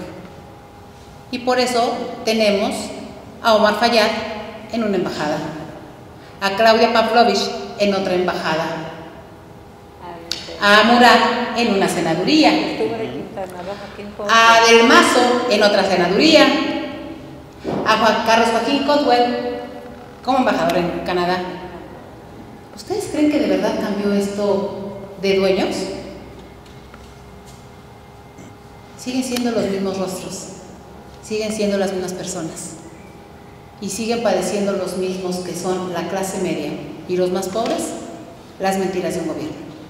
Ustedes tienen en sus manos la decisión, el próximo 2 de junio, de hacer lo que corresponda y tienen que ir a convencer al mayor número de personas que puedan para explicarles con datos de a de veras, como los que les estoy dando, que no son mentiras, ¿eh? son datos de a de veras, que ahí están y son oficiales, para que podamos convencer de que sí hay motivos para votar por la oposición. Sí los hay motivos. Y para quienes dicen o piensan que bueno, es que no van a cambiar porque son los mismos, tenemos una oportunidad, una oportunidad que tenemos que aprovechar cuando se vote por Xochitl. La posibilidad de que entre los diferentes sigamos construyendo cosas. Porque la llegada de Xochitl Gálvez representa para este país la posibilidad de que quienes tengan una afiliación política partidista puedan seguir conversando. Quienes no crean necesariamente en la política tengan una posibilidad de manifestarse. Que las instituciones que están ahí hoy, que fueron autónomas y que se crearon con mucho trabajo, sigan funcionando. Mientras del otro lado ya les dijeron qué va a pasar.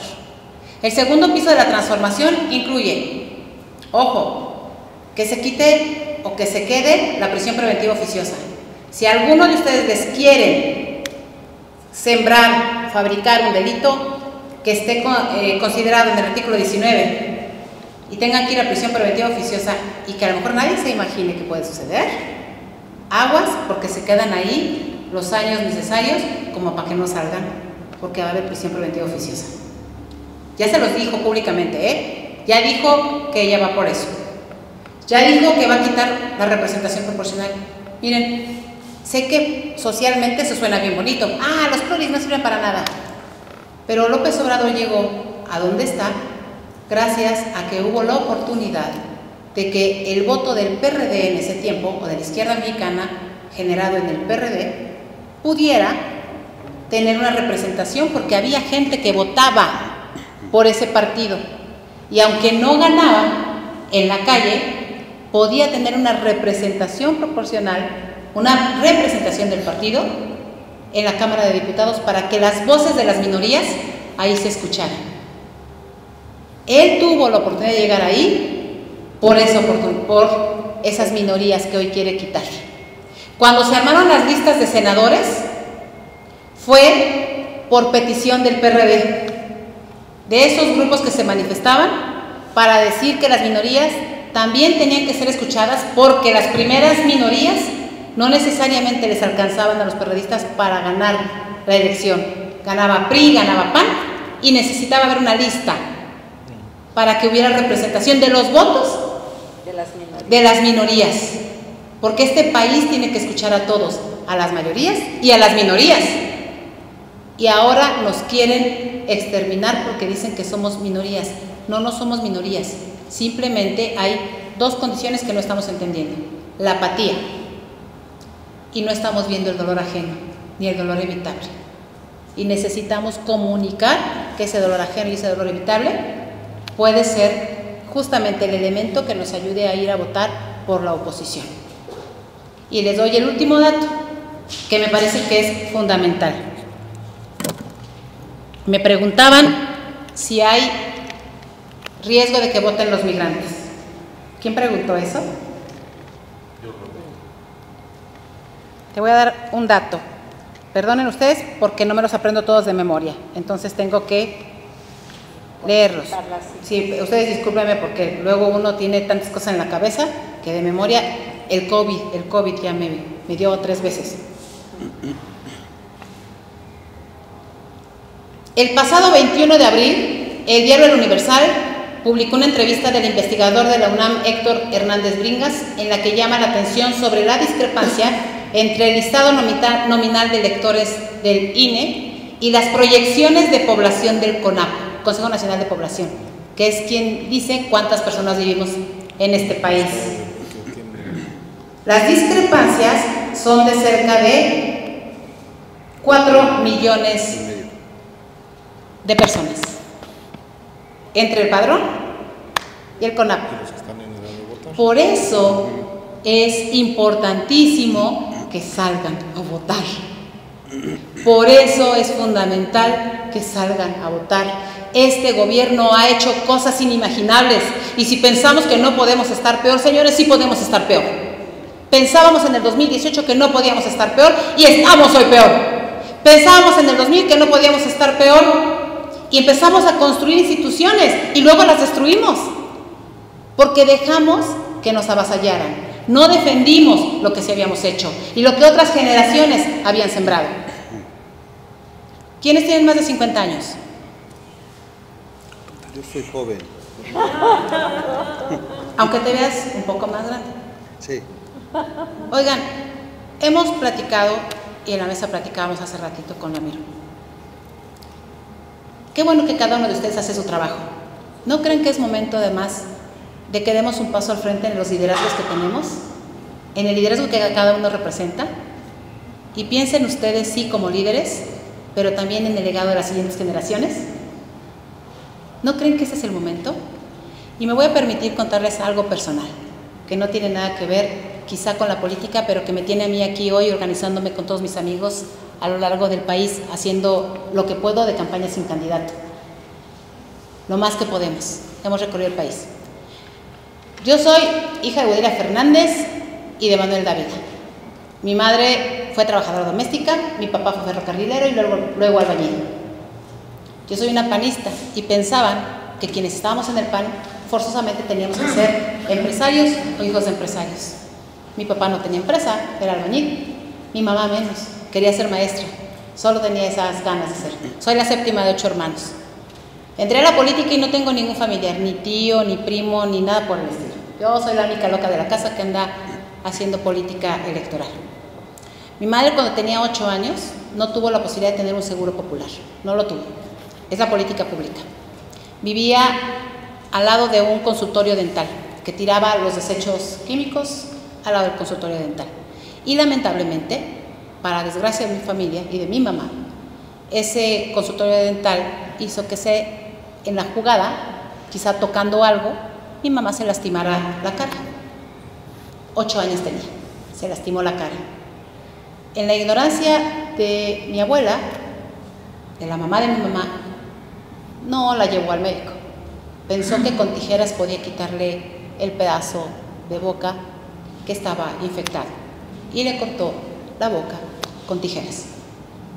Hizo eso que mi mamá usara desde los ocho años un rebozo, porque no había seguro popular, oigan, no había sistema de salud. La falta de un sistema de salud público es fundamental para las familias, para quienes menos tienen, para quienes como mi mamá, que vivía en pobreza, podía tener acceso a ese sistema. Si hubiera habido un sistema de salud, desde pequeñita, hubieran podido reconstruir su labio durante mucho tiempo tuvo prácticamente toda su vida que cubrirse la cara con ese rebozo, prácticamente toda su vida. Ella no pudo como yo soltarse el cabello como hubiera querido, a pesar de que lo tenía aquí. Ella no pudo como yo pintarse la boca, como me la pinto yo, por eso me la pinto siempre de rojo, fuerte. Porque si ella no pudo, ella hizo todo lo posible para que yo pudiera. Ella no pudo tener una carrera a pesar de que quería ser maestra, pero tiene dos hijos maestros. Mi papá no pudo por su enfermedad, que es enfermedad que tienen muchos mexicanos en este país, que es el alcoholismo, no pudo ser ingeniero, era un gran albañil. Yo iba a la obra con ella a dejarle la comida. Pero ¿saben qué sí pudo? Tener una hija ingeniera, que fue responsable de la carretera Cuernavaca-Acapulco, cuando estaba en las peores condiciones, levantó esa carretera y fue considerada de las 50 mejores funcionarias públicas de este país eh, hace dos sexenios, por su esfuerzo como ingeniera civil. Porque la escuela de mi hermana, mi escuela, la escuela del resto de mis hermanos, fue pagada con docenas de ropa, fue pagada con jornadas terribles de trabajo que no había posibilidades y el gobierno no estuvo ahí. Había programas sociales, pero a mi mamá no le tocaban, ni siquiera pensaba.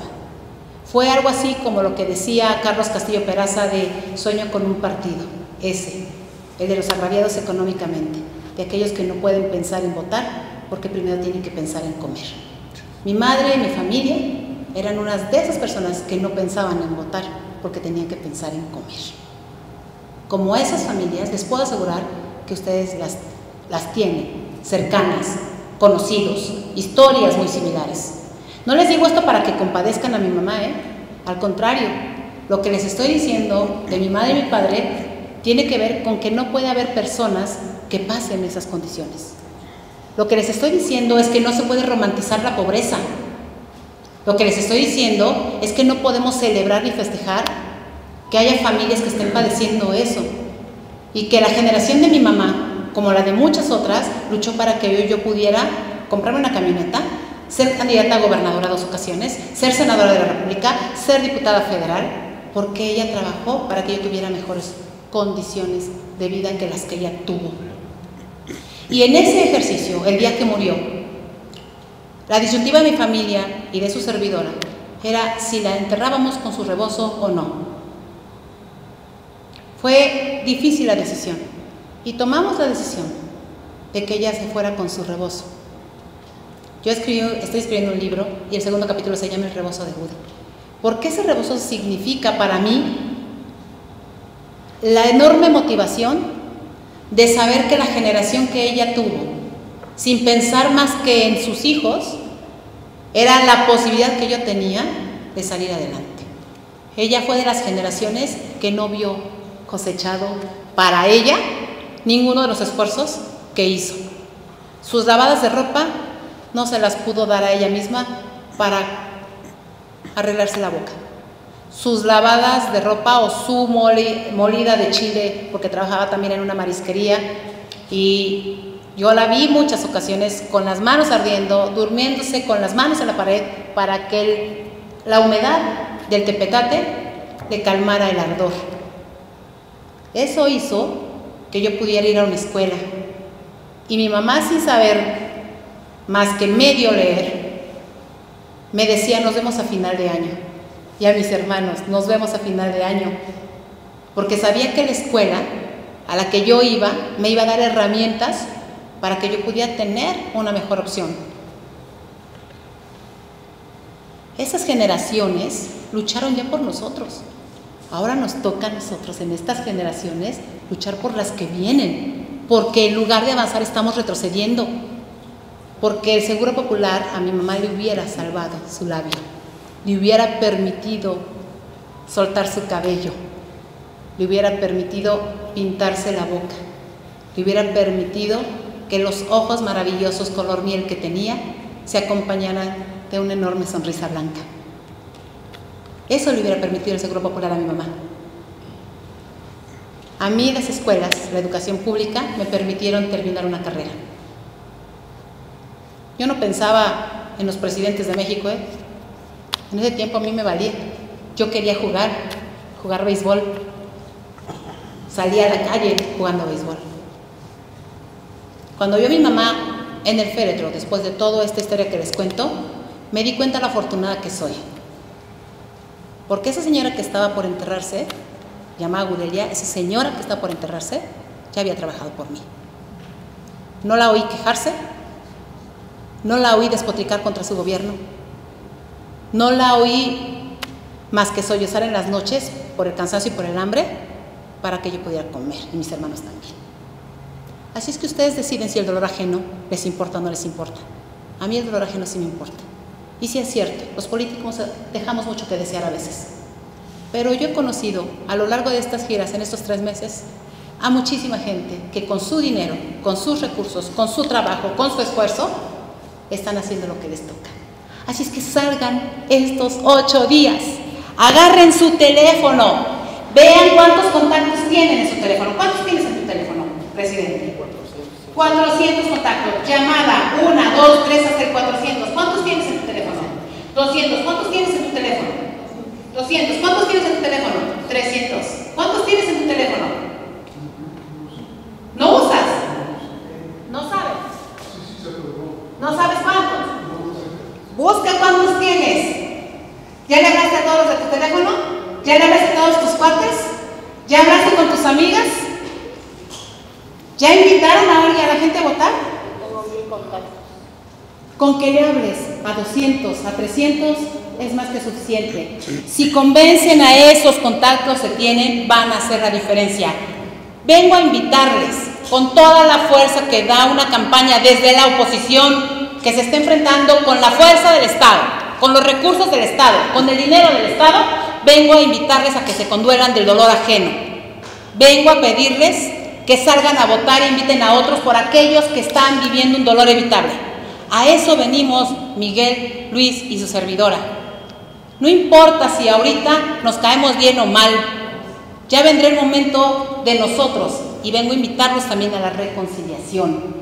Los liderazgos en este país tienen que hacer todo lo posible por reconciliarnos. Acá tenemos un presidente municipal que hizo buen trabajo. Tenemos funcionarios que fueron servidores públicos, tenemos dirigentes de partido, tenemos miembros de la sociedad civil. Reconcíliense, hagan todo lo posible por reencontrarse, porque en la medida que cada uno de ustedes haga todo para trabajar en conjunto, es en la medida en que la gente de Tasco va a salir a confiar en la oposición. Ganen la elección, pero además de ganar la elección, exíjanle a quien gane. Cuando gane la oposición en Tasco, sean tan responsables para ir a exigirle también que tiene que cumplir, pero además que tiene que aliviar el dolor evitable y el dolor ajeno. De eso se trata esta elección. No es de izquierdas ni de derechas, no es de malos contra buenos, no es de ricos contra pobres. Es la elección que nos evita el dolor ajeno y que puede prevenir el dolor evitable. Muchas gracias por darnos esta oportunidad.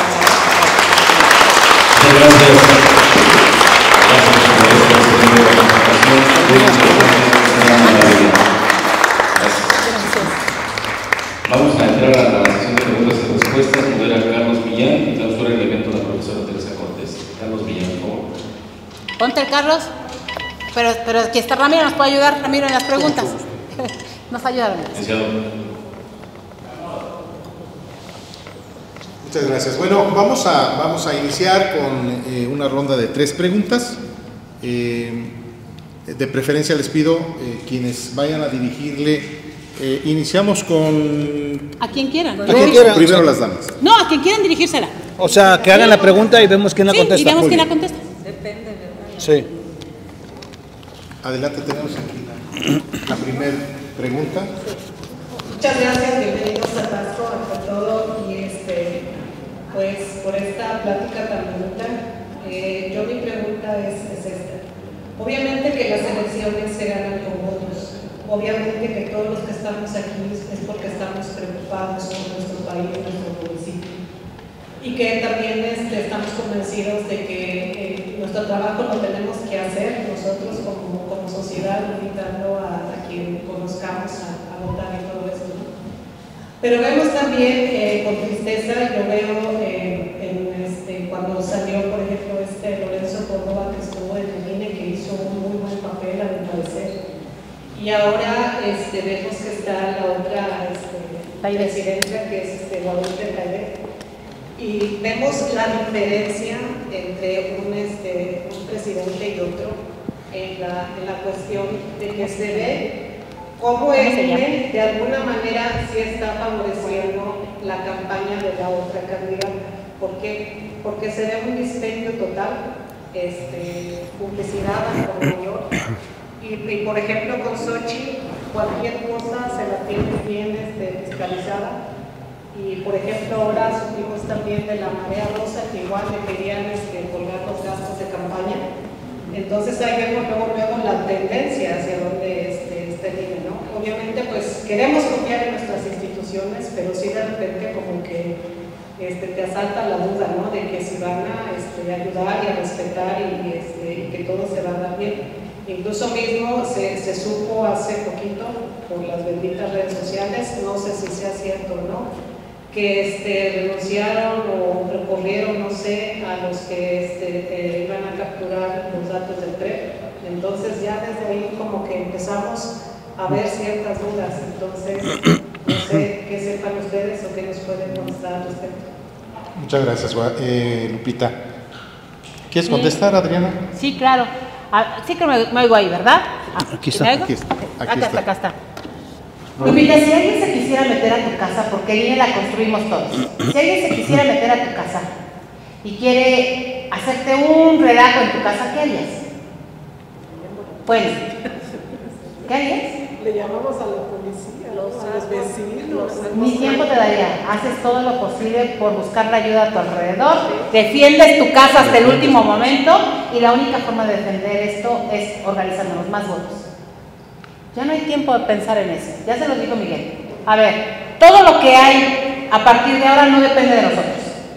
No depende de nosotros más que de los partidos, ahora les toca a ellos cuidar el voto. Yo escribí una columna hace dos días, los jueves en el Universal, sí, le voy a pedir a Carlos Millán, que es amigo y muy querido acá, guerrerense, que hacemos equipo desde hace mucho tiempo juntos, eh, y a Memo, que les pase por favor la, el llamado que les a los partidos. Yo soy Miguel del partido. Y el, el llamado que les estoy haciendo a los partidos es, cubran las casillas, por favor. Segundo, interpongan todas las denuncias correspondientes ante la autoridad. Y a ustedes el llamado que les hago es consigan votos. Todos los que puedan. Por eso les dije, agarra tu teléfono, habla. Lo demás, que no te agobie, que no te distraiga de la tarea más importante que tienes tú. Tu tarea más importante es conseguir votos. Entiendo la presión y entiendo lo que implica, pero preocupándonos no vamos a lograr nada. No, ahorita estamos eh, diagnosticados con enfermedad, ¿qué le podemos dar? ¿Qué nos, qué nos habrá dado? ¿Una tifoidea? Uh -huh. Pues no permitamos que nos dé cáncer. Sí, Tenemos claro. una tifoidea. Vamos a votar para que tengamos un médico. Y para que ya con ese médico que queremos, que sea especialista, que nos atienda, no nos dé cáncer. De eso se trata esta elección. Olvídense, las dudas que tengan, que qué va a pasar en el futuro. El, el, problema de este país, estamos pensando todo el tiempo en el futuro. El presente nos está alcanzando durísimo. No hagan caso. No se agobien, no se angustien No se distraigan. y no se distraigan especialmente. Votos. Eres más fuerte tú, Lupita, y la sociedad de lo que se imagina, ¿eh? Mucho más fuerte. Usen esa fuerza. Ustedes pusieron a Xochitl. Usen esa fuerza. Muy bien, muchas gracias. Eh, eh, continuamos con Marina. Eh, una sugerencia que nos haga entrar, por favor. Y tiene que ver con lo que son manejo de redes. Ahorita lo que bien lo dices, todo el día estamos expuestos a lo que son redes sociales, a lo que es internet y demás. Y ahí hay algo que se llaman los algoritmos y que yo no sé Sí. de estas cosas.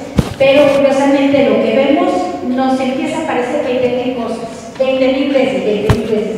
Si ando buscando un carro, me van a salir anuncios de carros 20 mil veces. Igual pasa con lo que es ahorita el tema electoral. Sí, claro. Aquí la sugerencia que nos hagas, que es preferible ignorar a Sheinbaum y favorecer a Xochitl, o sea, ya no hacer caso a, a Sheinbaum y solamente propositivo, propositivo para Xochitl o denostar del otro lado y qué tipo de, la, la segunda pregunta viene, qué tipo de anuncios hacer o qué tipo de material compartir. Vota nada más, programas o ataques o cuál es la sugerencia. Mensajes Ok. cortos. A ver, rápido para ser concreto. Número uno, si es un tema de algoritmos, como le llaman, y sí es cierto que nos escuchan los teléfonos. O sea, sí es cierto, ¿eh? O sea, usted ahorita dice, es que la bicicleta que me quiero comprar y ya le aparecen los comerciales. Es cierto. Hay mecanismos de cómo protegernos, sí. Sería, un día me vengo a dar una vuelta y les doy un curso. Pero sí es real. Pero en la internet hay muchas formas de aprender a cómo asegurar nuestro teléfono. Pero sí, es- sí existe. Y ahorita las campañas, y más los que tienen dinero, pagan, nosotros le llamamos segmentación, pagan publicidad. Y, y de verdad ha avanzado mucho la tecnología. Uno puede decidir dónde quiero poner la publicidad, cuánto tiempo, inclusive hasta puedo dividir Tasco. Y un barrio, en un barrio van a aparecer ciertos este, comerciales, en otro ciertos, porque ya tienen un análisis de dónde deben de apretar electoralmente, qué, secciones son donde todavía pueden eh, convencer o contener, que son teorías que se inventaron en el PRI, ¿eh? y, y entonces se segmenta, escogen ellos, pagan dónde, y nos van a estar apareciendo. ¿Cómo logran tener éxito? Cuando ustedes la abren y se enojan y le contestan. Malditos perros, son unos rateros y mentirosos. Y ya uno ya cree que ya este, se lo dijo a Sheinbaum, pero es parte, es una catarsis, se llama catarsis. Es decir, es una cuestión de sentimientos, de poder sacarlo. Y nos hace bien. Eh, de hecho, nos sentimos alegres. Dispara dopamina. Es, es un tema bien complejo. De verdad, un día, un día hay que darles un, un curso, pero es un químico en el cerebro. Y, y bueno, ¿qué tenemos que hacer? Primero, no darle like, porque si el algoritmo ve que ustedes contestaron, dice, el robot que está ahí atrás, dice, ah, pues este comercial sí les gusta, porque ya lo contestaron. Aunque usted sea una mentadera de mamás, el algoritmo dice, sí les gusta. Y entonces el algoritmo lo duplica porque a ellos les cobran más. Les entregan estadísticas y les dicen, fíjate que tu comercial este está con, lo están interactuando porque lo contestan y, y entonces lo reproducimos más. Y les entregan que sí es cierto. Y pues ellos ganan dinero, es una lluvia de mensajes y nosotros cayendo en el juego.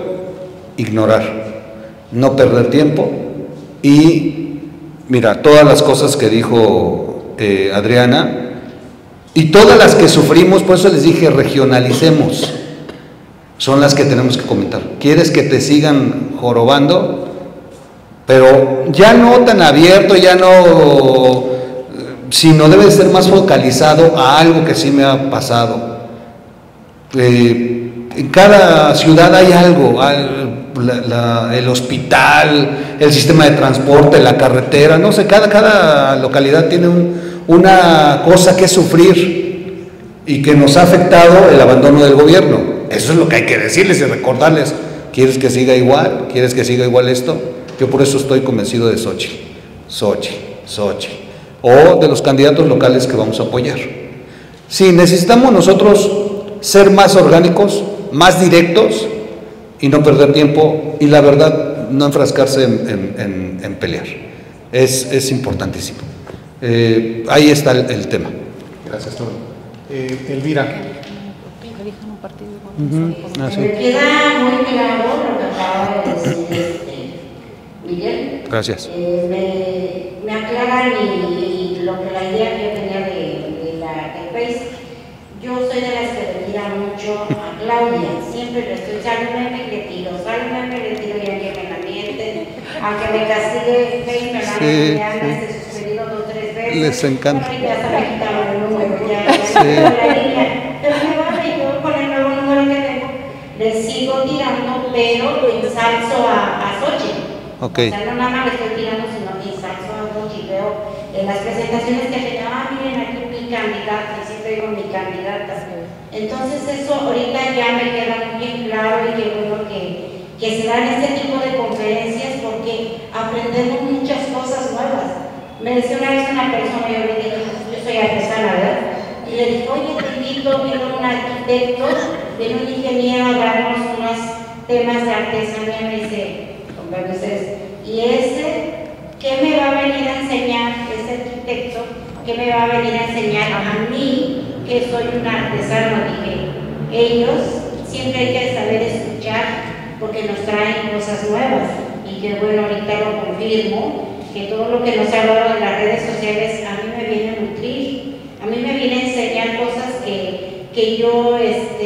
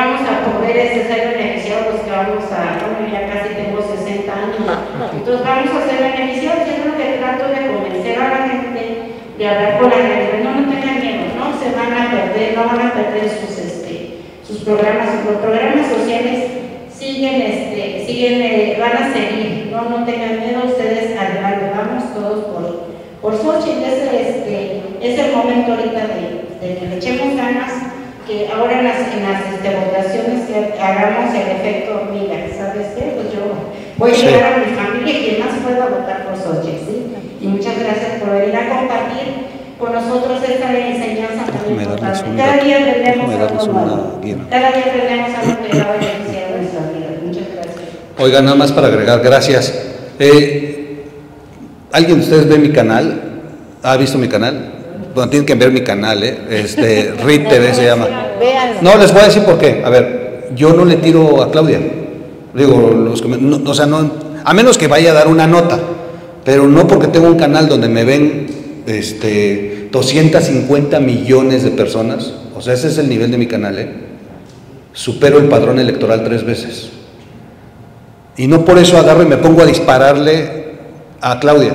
Agarro un video de 30 segundos de los que están en la cuenta de Xochitl Galvez, lo pongo y con eso los destruyo. Y me pongo a dar el tema. Ahí está todo el material, ¿eh? Bájenlo de la ¿Vas a cuenta. Sí, pero es- están, se están produciendo unos, uno- unos spots muy importantes. Ahora, tienen, este, tienen efectos en, en- el cerebro, químico. O sea, hay una reacción en la mente cuando uno ve este tipo de, spots. Y no necesitamos desgastarnos para pelearnos con los chairos en el, en el chat. No, agarren un solo spot, pónganlo y terminan hasta los chairos este, sintiendo pasos, ¿eh?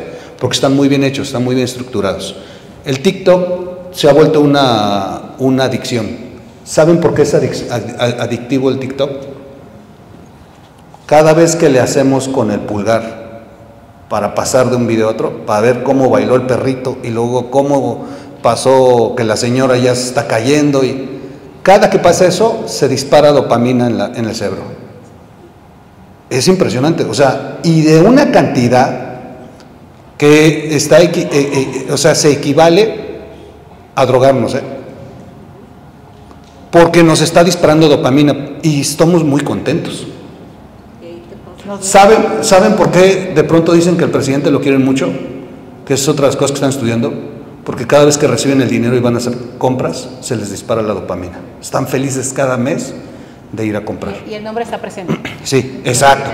Pero entonces lo que nos es una manipulación sobre el tema del cerebro, por eso es tan importante en las redes sociales no caer en el juego. Finalmente, nada más ya para cerrar dos temas que preguntaron aquí abierto. Uno, en el 2021 se registraron 37 millones de mexicanos con programas sociales. La elección solamente consiguió que participaran 6 millones de esos 37. O sea, ¿dónde quedaron los 31 millones? Los mandaron al carajo. Y de esos 6 millones ni siquiera se sabe si votaron por Morena.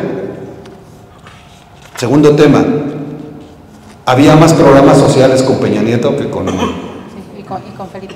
O sea, es impresionante porque ni siquiera tienen tantos programas sociales. Entonces no caigamos tampoco en ese juego.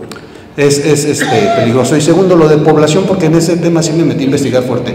A ver, no caigan en ese tema y en ese miedo de que el INE les dio credenciales. Es- y se- dos datos. Hay migrantes que sí se quedaron en México y hay un padre que no es padre, Solalinde, se dedicó a armar colonias. En Michoacán hay muchas y se quedaron esos migrantes.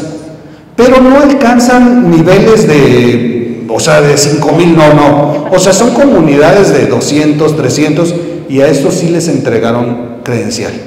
De ahí ha salido, pues de pronto sale el haitiano con su INE y en las redes sociales se dispara el miedo. Los 4 millones y medio que hay de diferencia entre el de población y, el registro de electores es porque hay una situación que se llama turismo electoral.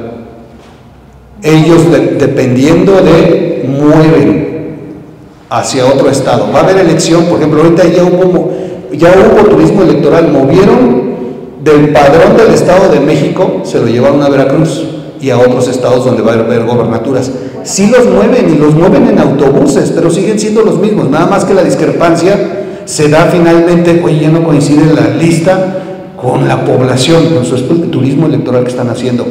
Pero el turismo electoral entonces nos demuestra algo, no están convenciendo personas nuevas. Tienen que seguir usando a los mismos que han manipulado y que mantienen bajo programa. Por eso sí se les puede ganar.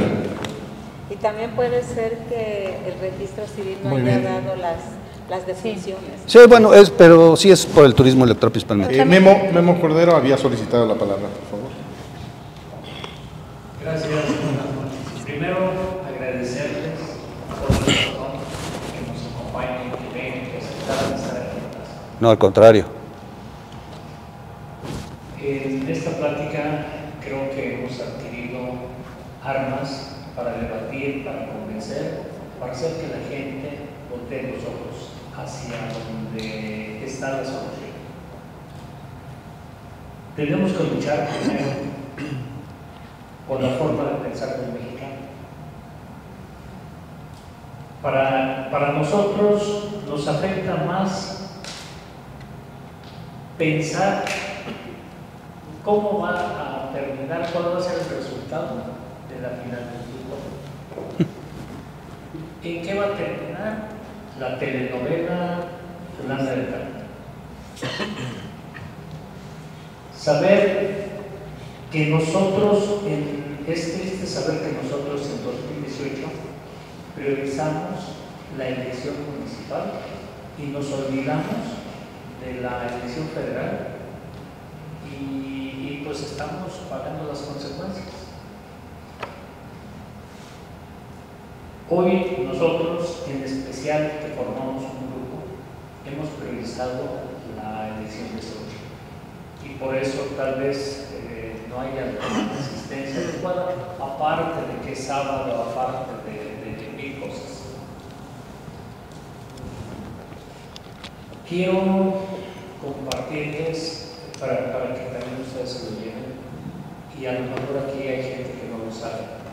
De los programas como Jóvenes Construyendo el Futuro, aquí en Tasco hay quien tiene una empresa registrada y acepta cuatro, cinco, seis jóvenes, los que sean. Que les dan seis mil o seis mil y tantos pesos. Y estos empresarios les dan mil pesos y se quedan con cinco mil. Sí, claro. Y de ahí o pagan su renta, o se compran un carro, o, O o- o mil cosas. Droga. Tienen muchas ocurrencias este gobierno y hace rato comentabas de tu hermana que es una de las carreteras más modernas y ellos están aceptando los caminos artesanales que estamos viendo que por falta de sustento técnico o se están cayendo o se están subiendo porque no saben que tienen que ir compactado, no saben que tienen que llevar un soporte. Todo esto son armas que nosotros nos ayudan a, a debatir, porque a mí me toca casi todos los domingos ya he dejado de ir a las reuniones familiares porque tengo unos parientes políticos que son morenacos y que de verdad es, es, es difícil. Yo ya les digo que son zombies. Entonces, todas estas armas eh, nos van a servir mucho para, para los días que faltan para tratar de convencer a más gente. Ojalá ustedes eh, no se lleven una mala impresión de aquí de nosotros. No, no. Ojalá este, no vean que, que hubo tanta gente, pero todo esto lo hicimos con el corazón y lo hicimos con la intención de que más gente estuviera presente y que más gente se y tuviera esas armas. Gracias. Mi querido Memo, no, no- nosotros aprendimos hace mucho tiempo, eh, y creo que así con toda sinceridad, que si hay la posibilidad de que podamos influir, cambiar, incidir, conversar con una, dos, tres, diez, quince, veinte personas, es una oportunidad que no debemos desperdiciar.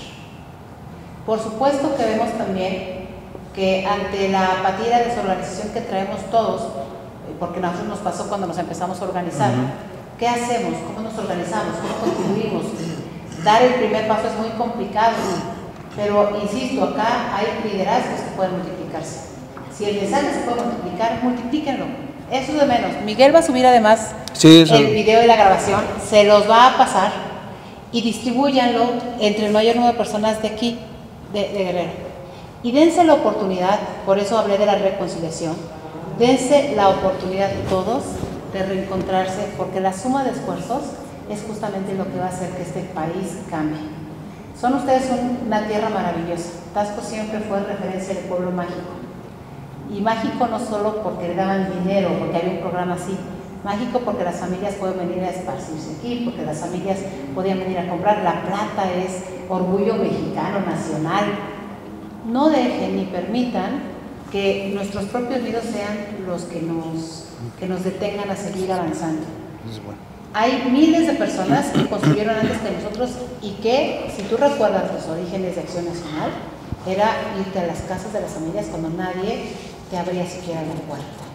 Si este es el momento de que todos los que hacemos política en el PAN, en el PRI, en el PRD o desde los ciudadanos, tenemos que empezar nuevamente a hacerlo, este es el momento. Porque cuando ganes en ciudades, también va a necesitar los ciudadanos organizados.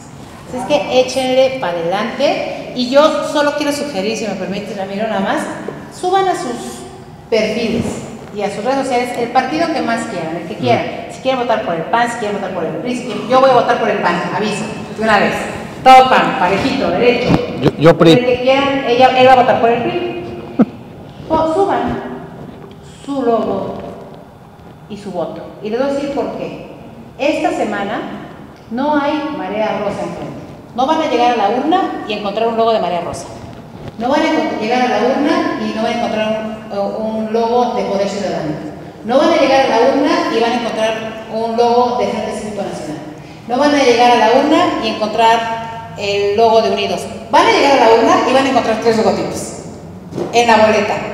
PAN, PRI o PRD, no se hagan bolas, es muy simple, elijan uno. Elijan uno, nomás así parejo.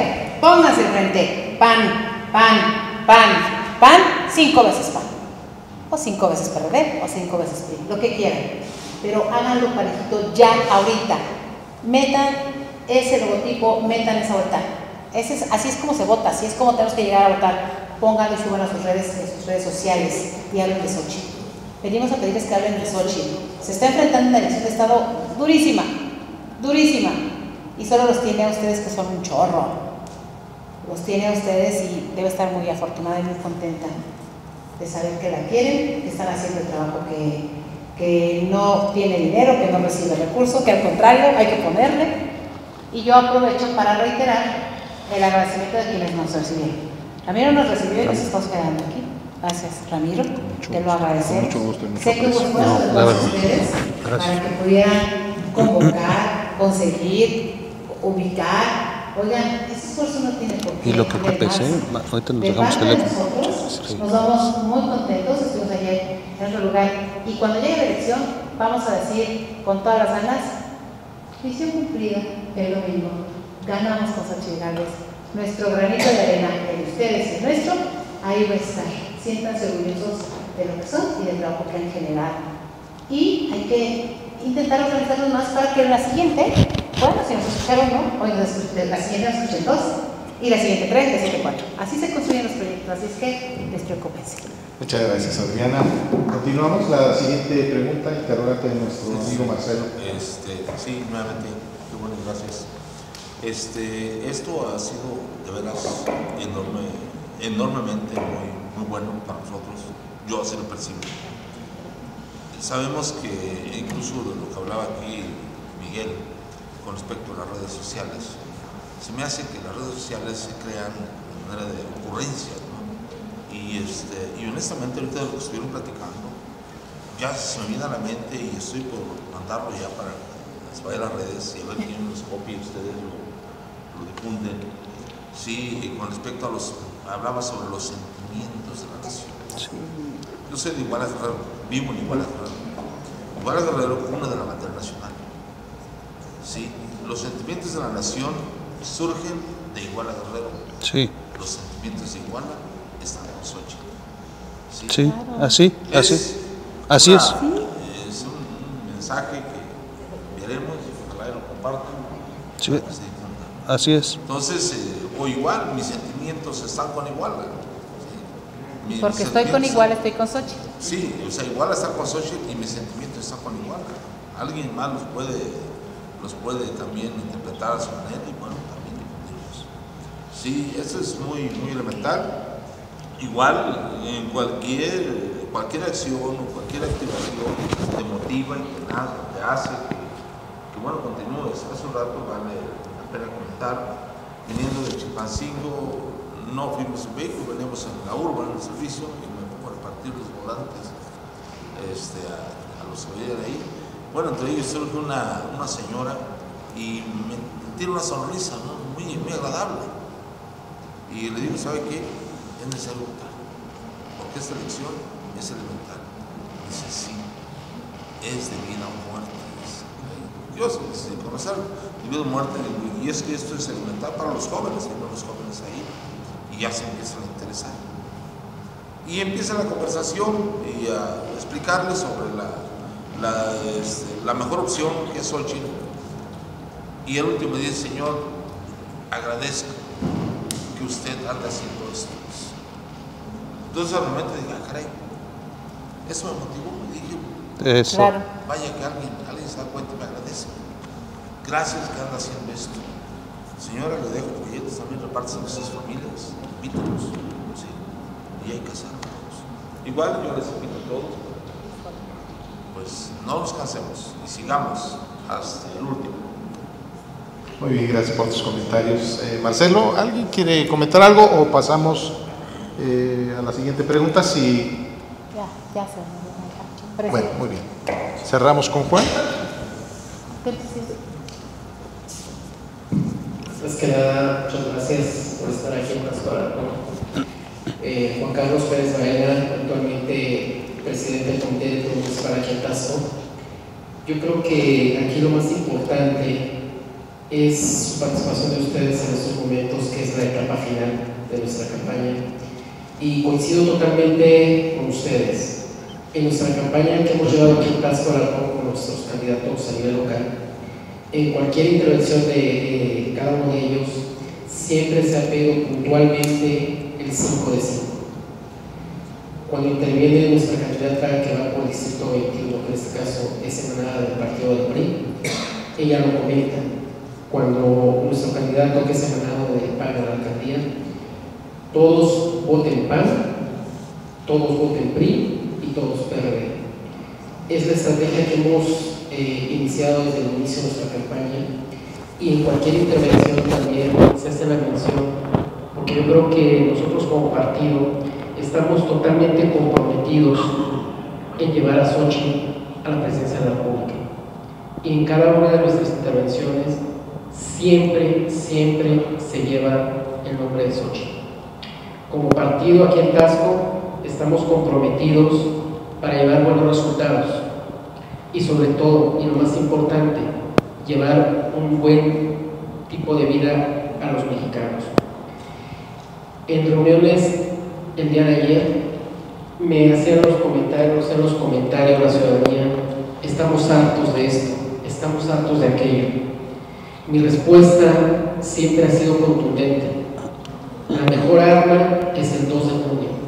Vayamos a votar, vayamos a ejercer ese derecho.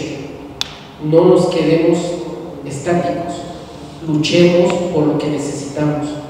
En Tasco Alarcón necesitamos un cambio de gobierno y siempre lo he manejado y siempre he sido puntual.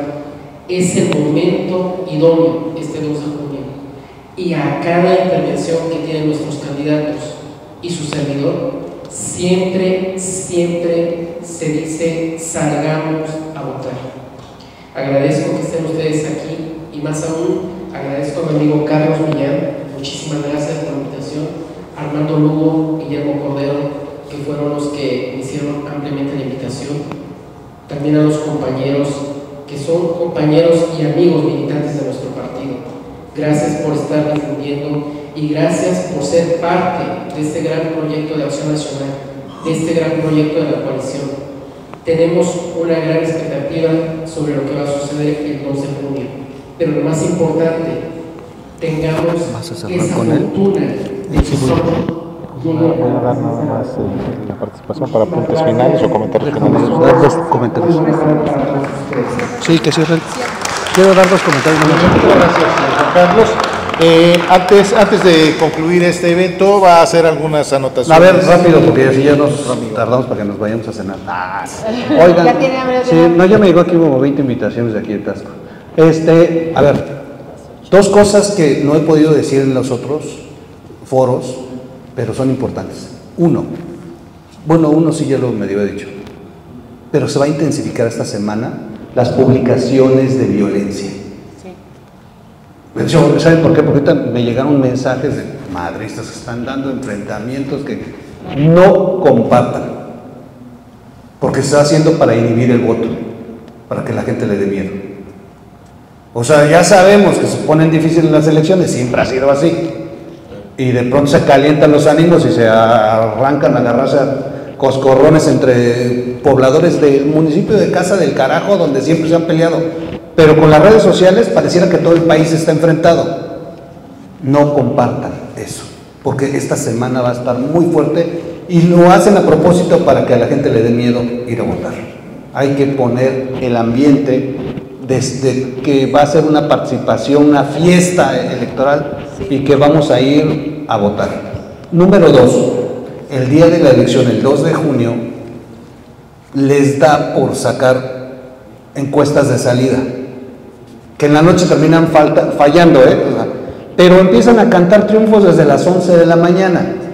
No caigan en esa jugada, al contrario. Y si se puede, digan, no, las encuestas dicen que es Sochi la que ya ganó, la tendencia va ganando con toda la seguridad, ¿eh? Nos, o sea, publiquen, va ganando, ya así se reporta. Y esas encuestas de salida son una mentira, o sea, hay que contrarrestar. El domingo es muy importante porque si nos ganan la narrativa de que la tendencia de salida ya va en favor de ellos, a la gente ya le da huevo y dice, ¿para qué? Ya perdimos. Y lo hacen a propósito. Entonces son dos puntos básicos hoy, eh, de aquí el domingo. No compartir cuestiones de inseguridad y compartir triunfo, el 2. El mismo 2 estar cantando el triunfo. Porque eso entonces te avienta. Miren, hay gente que está reunida y le dicen, ¿a quién le vas? A la América, a la América, a la América. Y hay uno ahí que no le va a la América, le va al Cruz Azul. pero ya no le dice al- al- a los demás públicamente que le va a la América. Este, digo, que le va al Cruz Azul, dice a la América, y no es cierto, no le va a la- Pero en automático tendemos a ir con el que va ganando y por pena. Si es, en serio, o sea, si parece mentira y ya por dentro dices, "Ugh", pero públicamente no lo haces. Bueno, así pasa con el voto, ¿eh? Si empiezan a, a decir que va ganando eh, el oficialismo y nosotros no estamos compartiendo triunfo, triunfo, pues entonces la gente va a entrar en duda. Háganlo así. Y, por cierto, en el 2021 voté por el PAN, aunque yo toda la vida fui del PRI. Así de, claro. Muy bien, muchísimas gracias. Pues con, con el agradecimiento profundo para nuestros panelistas, Adriana Dávila, Luis Estrada Estrafón y Miguel Quintana el Troll, eh, estamos muy contentos por su presencia y sobre todo estas aportaciones que nos hacen. Eh, venir a compartir en esta ocasión las experiencias eh, y todos los datos que a veces no eh, se comparten a la ciudadanía, pues hace que haya confusión. A cada uno de ustedes, muchas gracias por su presencia, su tiempo valioso, por estar presentes y sobre todo llévense de este encuentro, de este diálogo con los tasqueños, pues estas recomendaciones que tenemos que poner en práctica y llevar a cabo para que el próximo domingo tengamos eh, a Xochitl Gálvez como nuestra próxima presidenta. Eso. Gracias y muy buenas tardes. Me, me está comentando que habrá un eh, regalo, entrega de un regalo. No, no. A nuestros panelistas. No, por favor. Wow. ¿Es en serio? Yo me llevo el de Luis. ya. ¿Qué crees que sí veis sin regalo, Luis? Agárrenlo. Es un es una muestra del trabajo artesanal platero de la que lleva impreso el, el talento y sobre todo el corazón de los ¿Es de tu taller? Bueno, somos uno de los Gracias. pocos, dijera una... Es un presente Es un de... trabajo artesanal. Son de los Artesanal de todos los pequeños, plateros. pequeños plateros Ok. de más de 20 años ejerciendo la plata. Sí, de los auténticos artesanos plateros. Eso. Wow. Muy bien, pues muchas gracias. Gracias, Muchas gracias. Cuídense. Padrísimo. Este, por medio de sus redes, esperamos que ya no sea publicidad mala para Tasco y que sí, cuando usted tenga algún tiempo, nos enseñe cómo quitar todo eso de la publicidad mala. ¿Por qué? Porque nos ha afectado bastante. Me voy a poner de acuerdo con él. Yo voy a regresar a Tasco. Sí, A grabar. A grabar y a hacer. Y sí nos interesa porque de verdad, y no lo digo yo, lo dice todo Tasco, Sí. nos ha afectado Sí, bastante. Sí. No tenemos turismo. Dios sol- solamente sabe cómo vamos pasando. Se van a recomponer. ¿eh? Y vamos por Xochitl. Pues gracias Mira, también a de nuestros platería donde estamos dando clases. Ah, mira. Estamos dando clases a turistas este, extranjeros que vienen de Canadá, de Francia. Me ha tocado darles clases a unos franceses de la semana pasada. El fin de semana que pa- este, de la otra semana estuvo un niño de Massachusetts, le di clases. Wow. Como yo ya estuve en Estados Unidos, aprendí un poquito de inglés y eso me ha servido, sí, para Abrir. darme más ganas de salir adelante como Eso. artesano platero. Muy bien, pues el agradecimiento y reconocimiento también a nuestros artesanos plateros. Lleven el cariño y el afecto de los tasqueños en esta muestra representativa del gran talento de los artesanos plateros. Muchas Gracias a gracias. todos ustedes por su Gracias. participación. Gracias, ¿eh? Gracias y cuídense. Sí voy a regresar, ¿eh? Los vamos a buscar. Gracias. ¿eh? Sí, sí. Gracias. Sí, Adriana va a regresar en menos de un mes. Yo regreso también. Porque antes la que dijo que a regresar. No, sí, Préstame este. Ya quedamos.